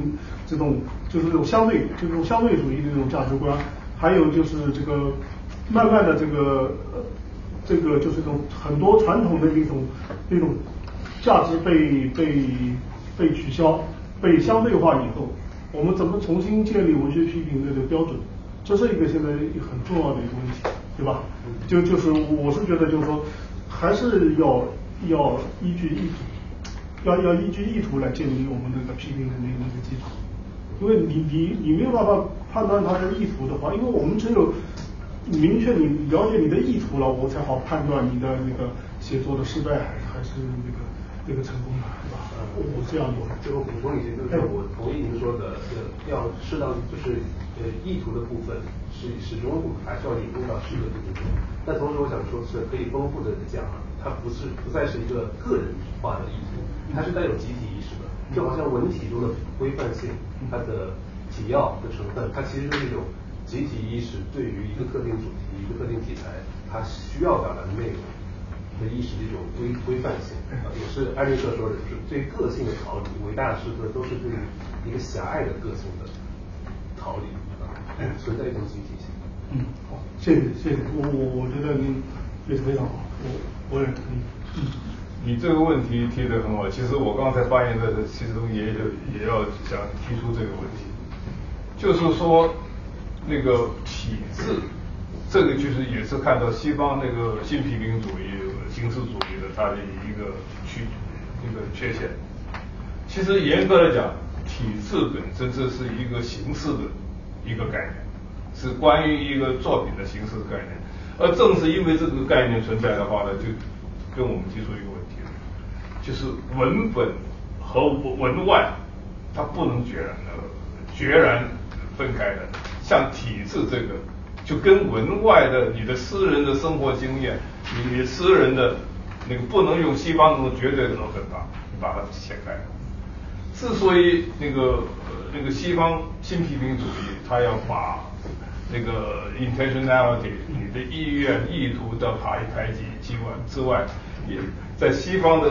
形式主义里面没有像体制这个概念，因为体制里面就涉及一个方选，方选的话呢，那是根本违背康德整个西方美学对美的定义。美它是不能有功利的，啊，不能有意图，所以你的意图像干叶的话，就很明显的功利，所以这样的话呢，甚至他给你戴上一个帽子，不是意义。说正是如此，在在现在现在那个现在的那个新批评主义也好，形式主义也好，它不可能纳入的像体制这样一个涉及作品功能的社会功能呃那个那个个人的那个呃目的的个人功利目的的一个一个概念进去。所以这里的话呢，我们也可以看到，就是西方。它的形式主义，它的局限性。啊，它完全切切割了。其实文学形式本身像体制这个概念是很精彩的，它是超越了一种绝对的文本和文本之外的这个，我们可以从这样的来，我觉得可以从这样的来解释这个。啊，然后我忍不住了，又又又又又发言的太多了。好，下面，哎，好，请自报大名。啊，各位老师好，蒋老师好，蔡老师好。啊，我叫肖如梦。啊，可能跟各位在座的专业的老师和同学不同，我只是一个业余的古典诗歌爱好者的身份来参加这次讲座的。我，所以我可能提不出很专业的问题，就是想发表一下我听了这个讲座之后的想法。一个是我来之前有一点担心，我想会不会很枯燥，我听不懂。但是我听下来觉得时间好快，居然马上就讲完了。就是蒋老师列举的那些例子，都是我们平常很耳熟能详的诗歌，但是他的讲法还有一些啊分析，我都觉得很新颖、很有趣，是我平时没有听到过的，所以我觉得收获很大。呃，另外一点就是蔡老师提到的。呃，中西文化的比较可以丰富和开阔我们的视野，哪怕是中文的学生也应该学好外语。我觉得这一点我感受也非常大，因为我虽然从小就很喜欢古典诗歌，但是在大学本科的时候就选了日语专业，选了日语之后我毕业了又去当了小学语文老师，然后到现在我又来到香港呃生活和呃生活嘛，我自己就觉得确实是这样。虽然可能我不知道我以后会不会继续做这个语文方面、诗歌方面的研究，但是我觉得比起说，呃，它是我的一个事业目标或者谋生手段，更像是我的一个精神家园，呃，所以可能是我一辈子都是可以在这个爱好中得到慰藉的一个地方。所以谢谢谢谢各位老师。谢谢。有一个建议，你们为了帮助支持我们这个。这个项目一个很重要的话呢，一个项目就是说社会的效应，怎么样通过我们的呃那个讲座来改变呃那个听众的一种最高的境界，就是人生的看法啊，对人生的发展也会在产生影响。所以您的发言能不能够劳烦你用文字问卷里面啊把它写下来 啊？这样的话呢，我们将来可以那个在我们那个申报。那个经费等等，我们一个实实在在的一个例子，活生生的例子。像你这样在呃在不是学生，但是社会的呃在的来的来这个兴趣的，用你的话讲，来开拓精神的家园。我们为开拓市民的精神家园做出一种微薄的贡献，那是我们最大最大的满足。所以先谢谢你把它写下来啊，好，下下一位。呃，请大家踊跃发言，OK。好，王王老师。刚才，呃，我有有有点感冒。那个刚才两位老师的这个呃这个对谈啊，呃这个主讲蒋老师，这个呃蔡老师的这个激情的。呃，这样的一个回应啊，这个我们听了以后啊，就觉得这一次的这个国学堂演讲啊，非常的成功啊，内容呃十分的精彩。那我当时呃想到就是从这个呃辩题的这个角度啊，文章要辩题，诗也是要诗源辩题，都有一个体制的啊重要的问题。那么蒋老师把它揭示出来，就是让我们能理解，就是这个这个古呃古代的这个诗歌的那个丰富的体制的概念是呃非常关键和重要的。那么作为这个干叶诗啊，因为这个呃陈千帆先生是研究啊那个温卷、行卷，就是啊这个呃唐人的这一种想谋求这个晋升的这样的一种。他的这样一种手段啊，那么这个干叶是，呃，它是要保持一种骄傲的分寸啊，就是既要表示自己的才华才学啊，但是呢，你啊也是要像这个你去干谒者啊，也是要表示你对他的这种呃崇拜啊。呃，生不愿奉万物户侯啊，啊，但愿一世含荆州啊，啊。那么这个细读的话，就是这个孟浩然这个诗，其实就是呃他的这个骄傲的分寸上，他可能拿捏的不是太好啊，呃，所以呢，就是呃也因为他的底气就是这个襄阳这个地方啊，因为。古有这个襄阳奇就传，这个襄阳奇就传，所以他就是这个呃气很足。襄阳好，风日流水以山。呃，襄阳有有有有八德，那个所以他这个有很大的一种地方的这种骄傲在里面啊，所以他这个对这个张丞相他的这个用这个干谒的话，其实就是在这个诗细读的时候，就是他。表达自我太自我，就是对对方的那个尊重不够啊，尊重不够，所以他的干谒最后也不成。所以这个诗就是我们做细读的话，就是他那个可能拿捏这个骄傲的分寸啊，他其实是呃有点问题的啊。这是我我读这个诗的一点感受啊。好好。嗯其实他最后最后那个典故，他把他把张九龄比作姜太公啊，实际上也是也是有一种这个推崇的意思的。然后他他这个端居此圣明啊，这句是他替自己就是你说的，给自己找找那古人说就是找个地步嘛，就是不不是让不要太帮有道帮无道啊，这个。就是他要想要在这个有道的时候，我出来是是完全。就是给自己找一个，就是在古代去找一个价值依据嘛，就就是为自己，就这个不要显得太太好像功利、太世俗，就去找到一个在古老的话里找到一个依据嘛。但是就是他这样的话，有有点就是自比八十余文文王的话，这个是太。太骄傲了，这个这个可能是有点过了。这个我觉得就是他这个分寸可能呃是是呃这个没有拿捏好，没有拿捏好。所以像柳三边一样的，最后的呃太傲了。你奉旨填词啊，你就去填词吧。这个这里我也要顺便请教那个呃蒋蒋老师，我觉得呃就是。这个孟浩然这首诗和整个干乐的传统，我觉得可能是对古文也有影响。我现在想起了就是书册的《尚书密·韩太尉书》，就是一种那个干乐的结构。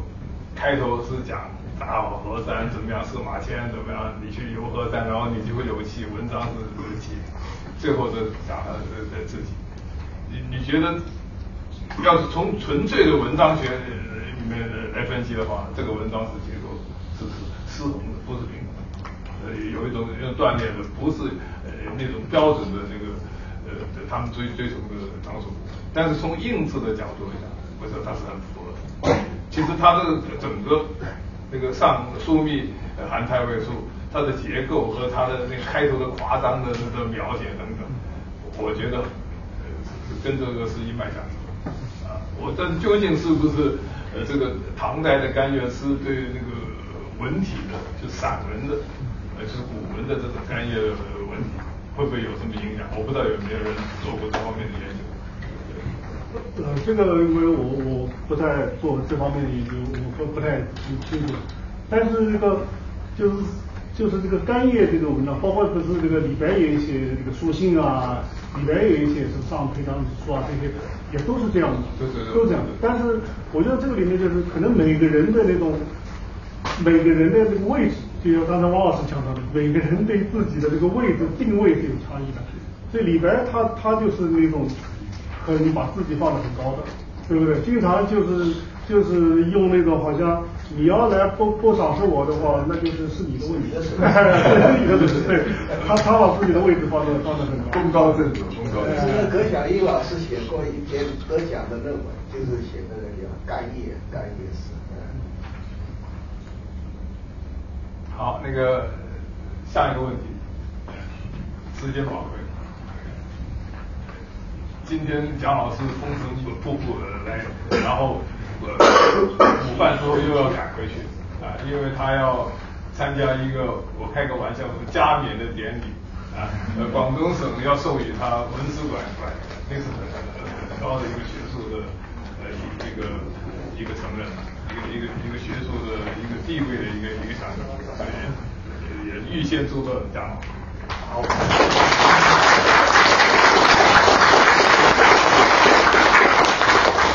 好。好，这个我们就还有用那个问题来感谢，以问题形式来感谢蒋老师。下一个问题有请。啊。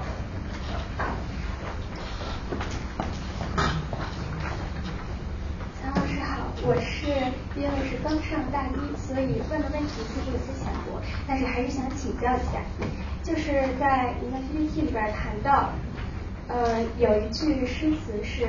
切梦不离江上水，然后给了我们一个思考。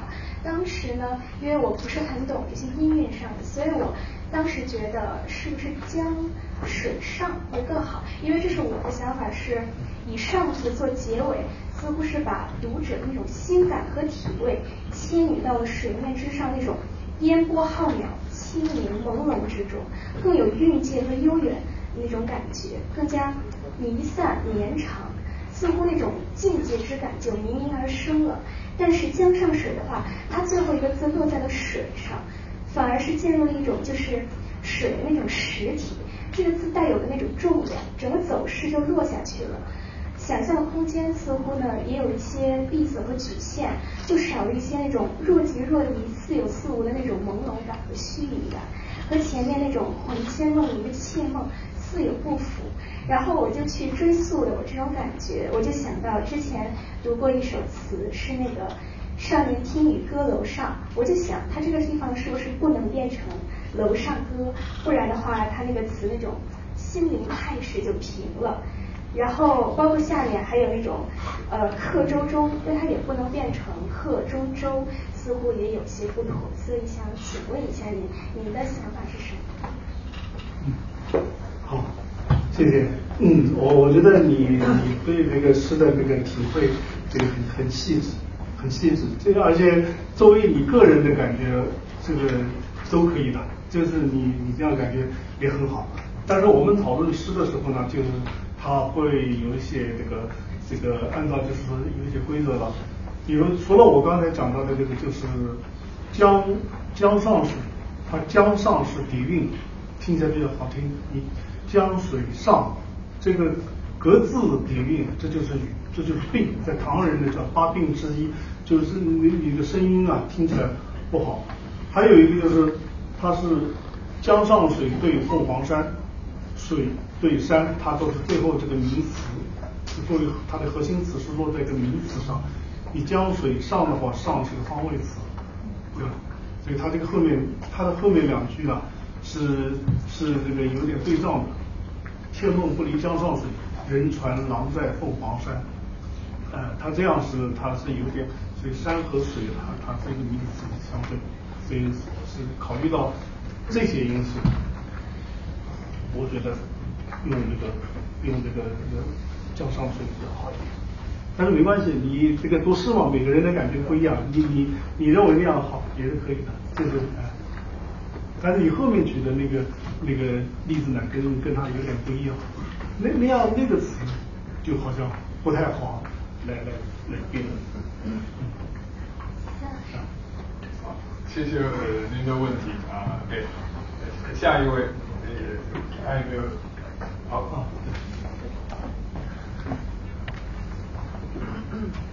老师你好，我是那个研究生院呃中国语区研究的学生，叫吴越。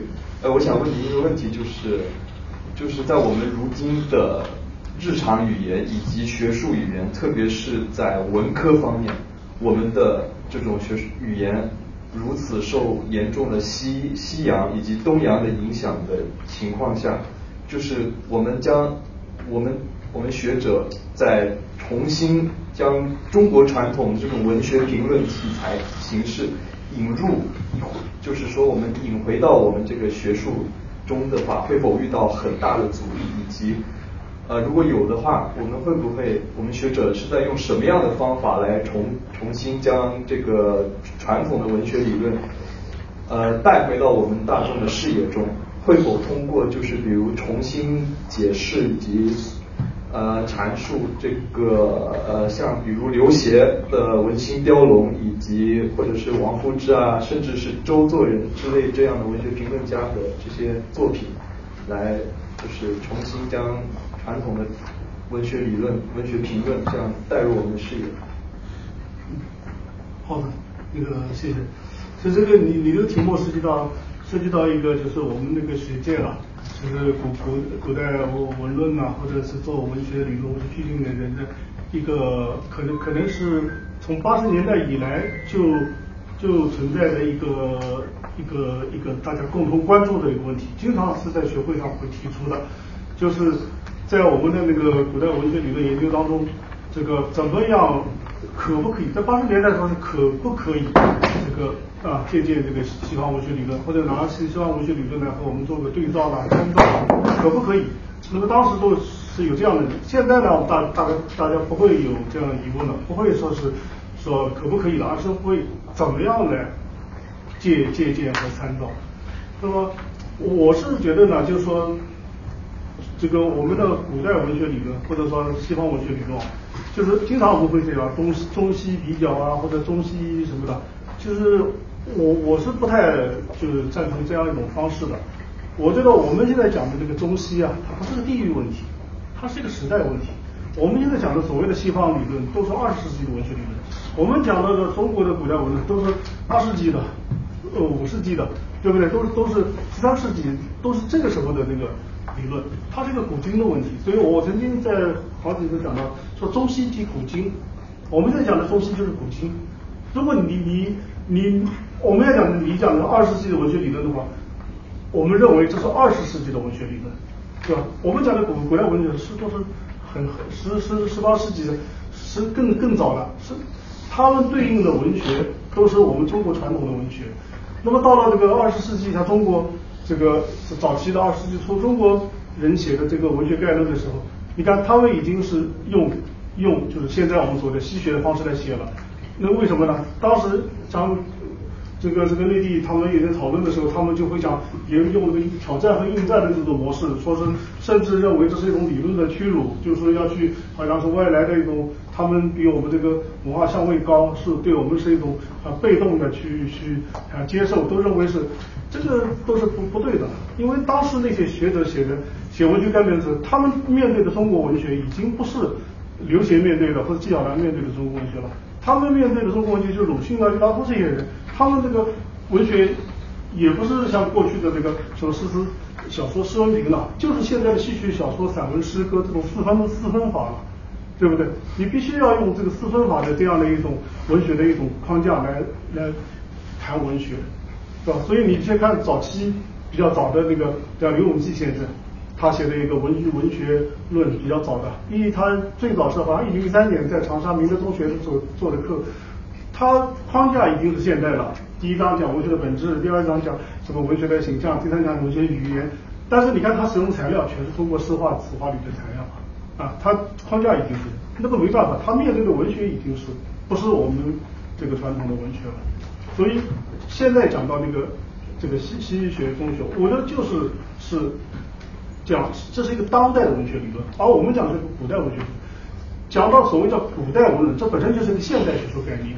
就是因为我们意识到这个东西，它跟我们的生活已经断裂了，它是一个过去面对的过去文学的东西，所以古代文学理论，他们国内甚至要像拿古代文学理论来建立一个一个什么一个体系来来讲，这个是不是完全不现实的，都不可能的。他们他们讲的那个文学理论只适合解释我们古代的作品。为什么书法和绘画？你看他们认为没有一个这个我们的焦虑。书法和绘画还是讲气啊，讲是韵啊，讲讲笔墨啊。因为我们的中国画，我们的戏曲，还是沿袭着古代的表现方式。我们可以拿古代这个戏曲戏曲理论、书书画理论来解释它。但是我们今天的诗歌，你说我们什么舒婷的诗歌、北岛诗歌，你你你能用我们那些概念来讲它吗？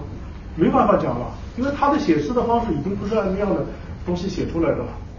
所以这个中古代文论，它面对的是中国古代的文学。我们今天讲的文学理论是面对的今天的文文学。那么古今的关系，就是像马克思讲的，所以你只有一个人，你只有明白人体的解剖，你才能懂得猴体的解剖。所以你一定是要站在一个当今的这个文学肯定是更更复杂的，你要在当今明白这个最复杂的这个文学这个理论，然后你再来回观过去的相对比较简单和你才能看得清楚。所以你要讲中国古代文论，你要想把它讲得好，一定要借助于当今的二十世纪的文学理论啊，不管这是东方还是西方，只不过是二十世纪我们我们中国大概人没有没有太多的理论贡献，所以我们只好就是拿这个就是给西方的文本。所以我觉得这个这个东西我不不需要太多强调地域的差别，我们要注意它时代，这是一个一个一个历史问题，这啊。所以我觉得一定要讲蔡老师，对的，一定要讲，一定要学好英文，学好当代的文学理论，然后你才能讲古代的文学理论，你才能讲得清楚，你才知道古人的他这些话，他说的是什么问题。以古识古解决不了问题的，不能以古识古的，对吧？就像我我们比方，就说你从地上挖出来一个宝，一些钱，这些古钱你你你没法流通的。你要去把兑换成现在的钱，它虽然是个宝贝，你不能把那个古钱拿那个黄金就去用的，你必须要兑换成现在的钱，你才能进入流通啊。话语也是一样的，古代的理论都是要经过一种诠释，所以他们那时候讲什么，这个古代文论的现代转换呢，我也不同意，因为这个词为什么会出现纠纷？这个转换不是一个学术概念，你怎么定义叫什么叫转换？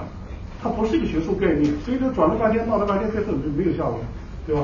这个不是一个好的一个一个可讨论的一个词，所以我是喜欢说诠释对话，这是我们可以诠释。我就把古代的文学理论，我先把它解释，告诉你这古人讲的什么意思。他说的是相当于我们今天文学理论里面的什么问题，这样你就能理解古人了。你理解古人了以后，你才知道古人讲的问题，他讲到了我们当今的文学理论，他讲到哪些问题，他处理了哪些问题。哪些问题他没有处理，或者他的哪些部分是有甚至超越前人的，超越这种西方人的，都是有的。我我最近写一篇讲中国古人身俗身心这样一些概念，就就是所谓的都跟独创性有关的概念，我觉得很有意思，对吧？现在你要按西方那个讲法，就是新旧新一定是好的嘛，因为西方的这个。所有的艺术啊，我们的时尚都是新永远是好的，新永远正确的。但在中国的人就不是这样看，新旧它不是一个是非的概念，它是一个程度的概念。新到什么程度就好，对吧？不是说绝对新就是好的，新到你身心或者你超越了这个人的这个接受程度了，人家会看不懂的。这个是是现在信息学里面道理。你你一个符码，如果是不是一个很私人的一个一个符码，大家读不懂的，对不对？所以符码必须要一种一种沟沟沟沟通嘛，一种有攻略性的嘛。那么，对古人这种讲法，我就认为他他就是很很深刻。他把这个创新理解成一个程度，就像你说一个刘航，你是喜欢三分熟还是七分熟，对吧？这是一个程度的概念，这个就是非常。后来我在这个波兰的哲学家，就是他讲理学，他也看到这样的说法。他创新是一种恰到好处的才叫好，不是说一定新就好的。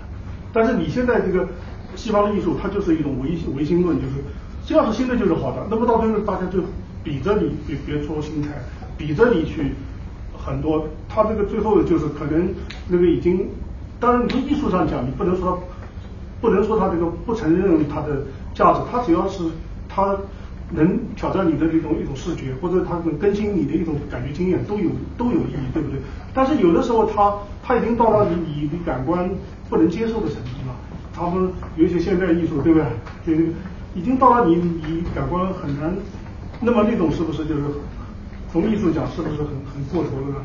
对吧？所以这个这种就是我觉得像中国人讲的那种一种一种适度，就是他心，这这就是中国人就讲中庸思想嘛。中是不是说不偏不倚嘛？啊，是不偏不倚嘛？就恰到好处嘛？这种就是最佳的这个点。度啊，就是一个度的概念。这个我觉得这种想法就就比较有意义嘛。所以，我我讲就是我们必须要借助于当代的这个文学理论来解释古代的东西，让古代东西能让我们看得懂，知道古人在说什么，这是一个第一步，这就是一个第一步，然后我们才谈得上对话，才谈得上比较。嗯。好，这个谢谢蒋老师。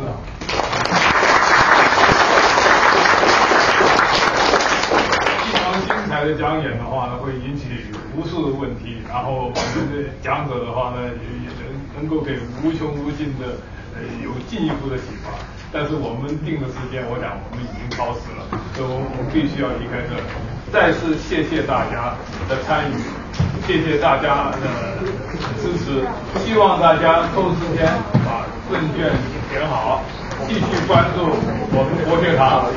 呃，大家也希望能够关注公众号的这个贾老师的，也欢迎大家关注这个关关注如何阅读中国诗歌。啊，这个在 B 站上是岭南大学蔡老师啊，稍稍继续我们的诗歌的学习。啊，这个太好，好，再见。